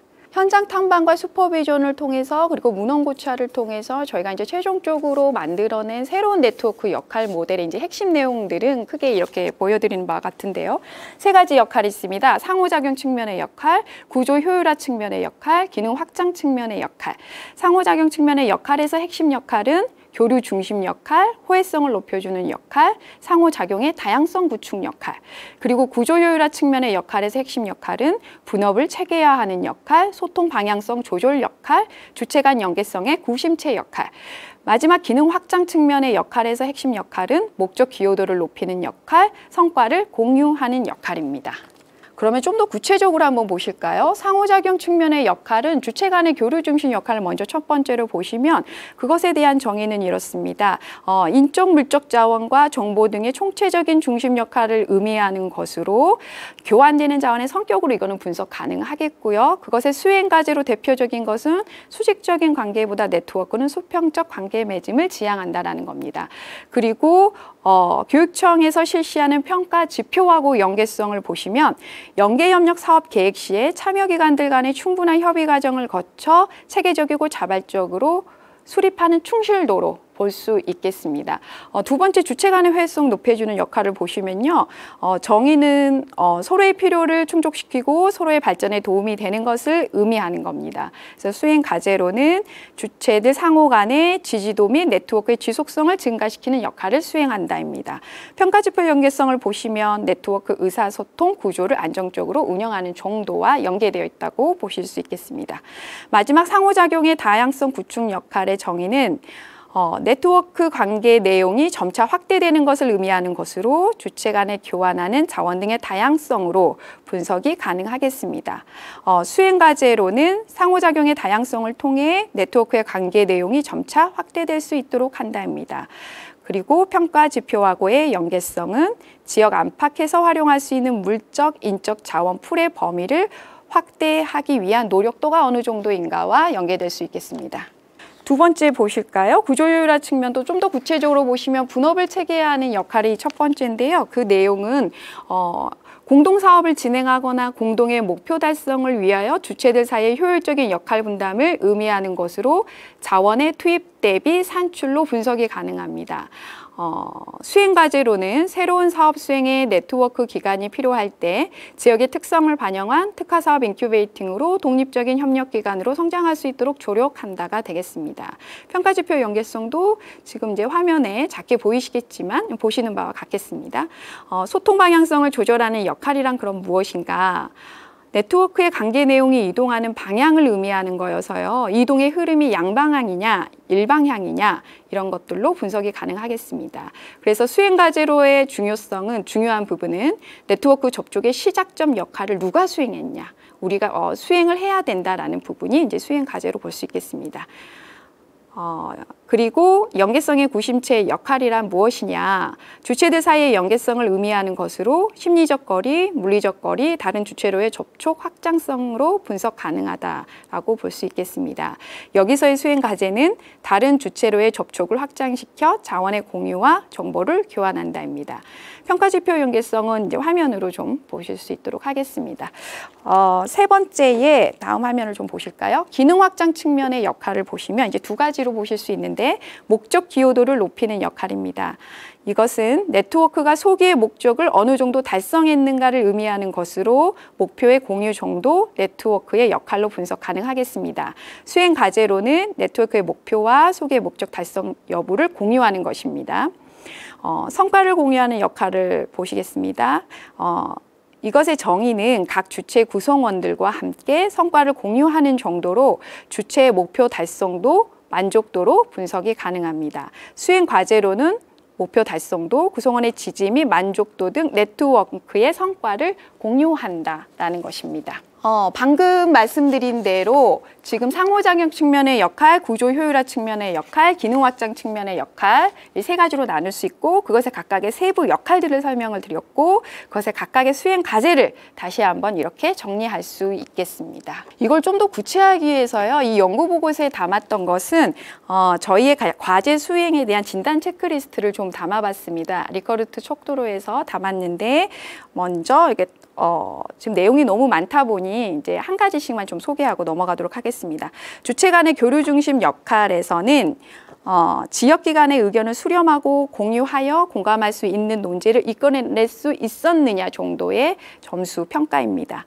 그리고 두 번째, 주체 간의 호혜성을 높여주는 역할에서는 지역기관과 정기협의체를 구성하여 지역의 현안 문제를 공유하고 해결하기 위해 지속적으로 노력하고 있느냐 정도입니다. 세 번째는 상호작용의 다양성을 구축하는 역할인데요. 교육복지 유관기관뿐만 아니라 다양한 지역사회기관과 연계 협력하여 물적, 인적 자원을 공유하고 교류하고 있는가 정도입니다. 그리고 구조효율화 측면에서 첫 번째, 분업을 체계하는 역할에서는 새로운 네트워크 기관 발굴 및 지원으로 지역의 특성을 고려한 특화 사업 incubating이 원활하게 되고 있느냐를 볼 수 있겠습니다. 두 번째, 소통 방향성을 조절하는 역할은 기관 상호 간의 지역사회 자원의 공유와 정보 교환 및 공동사업 추진 등을 자유롭게 제안하고 논의하여 연계 협력할 수 있느냐 정도를 보는 것입니다. 어, 세 번째, 주체 간 연계성의 구심체 역할에서는 네트워크 영역 확대를 통해 우리 기관의 자원과 정보를 적극적으로 타기관과 공유하고 교환하고 있는 정도를 체크할 수 있겠습니다. 어, 마지막 기능 확장 측면에서 첫 번째, 목적 기여도를 높이는 역할은 매년 지역사회 어, 실무자들과 네트워크 목표와 운영 결과를 공유하고 피드백을 실시하고 있느냐 정도를 체크할 수 있겠습니다.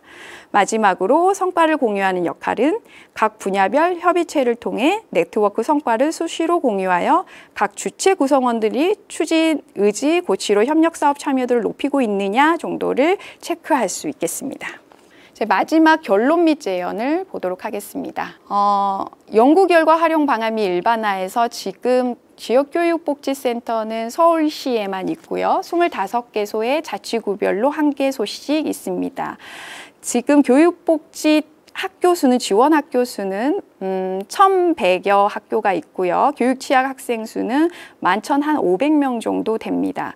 그리고 이 25 개소 자치구에 있는 교육복지센터의 지역 연계 기관 수는 2,370기관 정도가 되거든요. 그렇다면은 한 개소당 100여 개의 네트워크 기관 수가 있다는 겁니다. 그렇다면 얼마나 많은 네트워크를 진행하고 있으며 네트워크의 어떤 가치관을 담고 가느냐는 굉장히 중요한 요, 이 사업의 요소라고 볼 수 있겠습니다. 어, 마지막입니다. 이전에 이 연구를 했던 이유는 네트워크에 대한 그 앞전에서 매뉴얼을 보여드렸다시피 어, 굉장히 방향성은 있는데 굉장히 다소 추상적이고 어, 종사자들이 뭔가 참고할 만한 어, 실현 가능한 구체성이 미비한 상황이어서 이 연구를 하게 되었는데요. 그렇다면 어, 이 연구 보고서가 주는 중요한 가치는 첫 번째 교육복지 네트워크 역할을 재정립했다는 부분입니다. 그리고 두 번째는 네트워크 실행자의 태도와 가치관을 담아냈기 때문에 실무자들의 네트워크 실행 길잡이가 될 수 있다는 겁니다. 그리고 한계점은 어, 평가 지표를 측정하고 판단하기에 다소 추상성이 있고 앞으로 그래서 향후 현장에서 활용 접근성이 높은 구체적인 수행 지표와 네트워크 측정 지표를 제시하는 추가적인 연구, 즉 구체화된 정량적 지표가 필요하다는 겁니다. 이상으로 교육복지센터 네트워크 거점 역할 모델 및 수행과제 개발 연구에 대한 발표를 마치겠습니다. 감사합니다.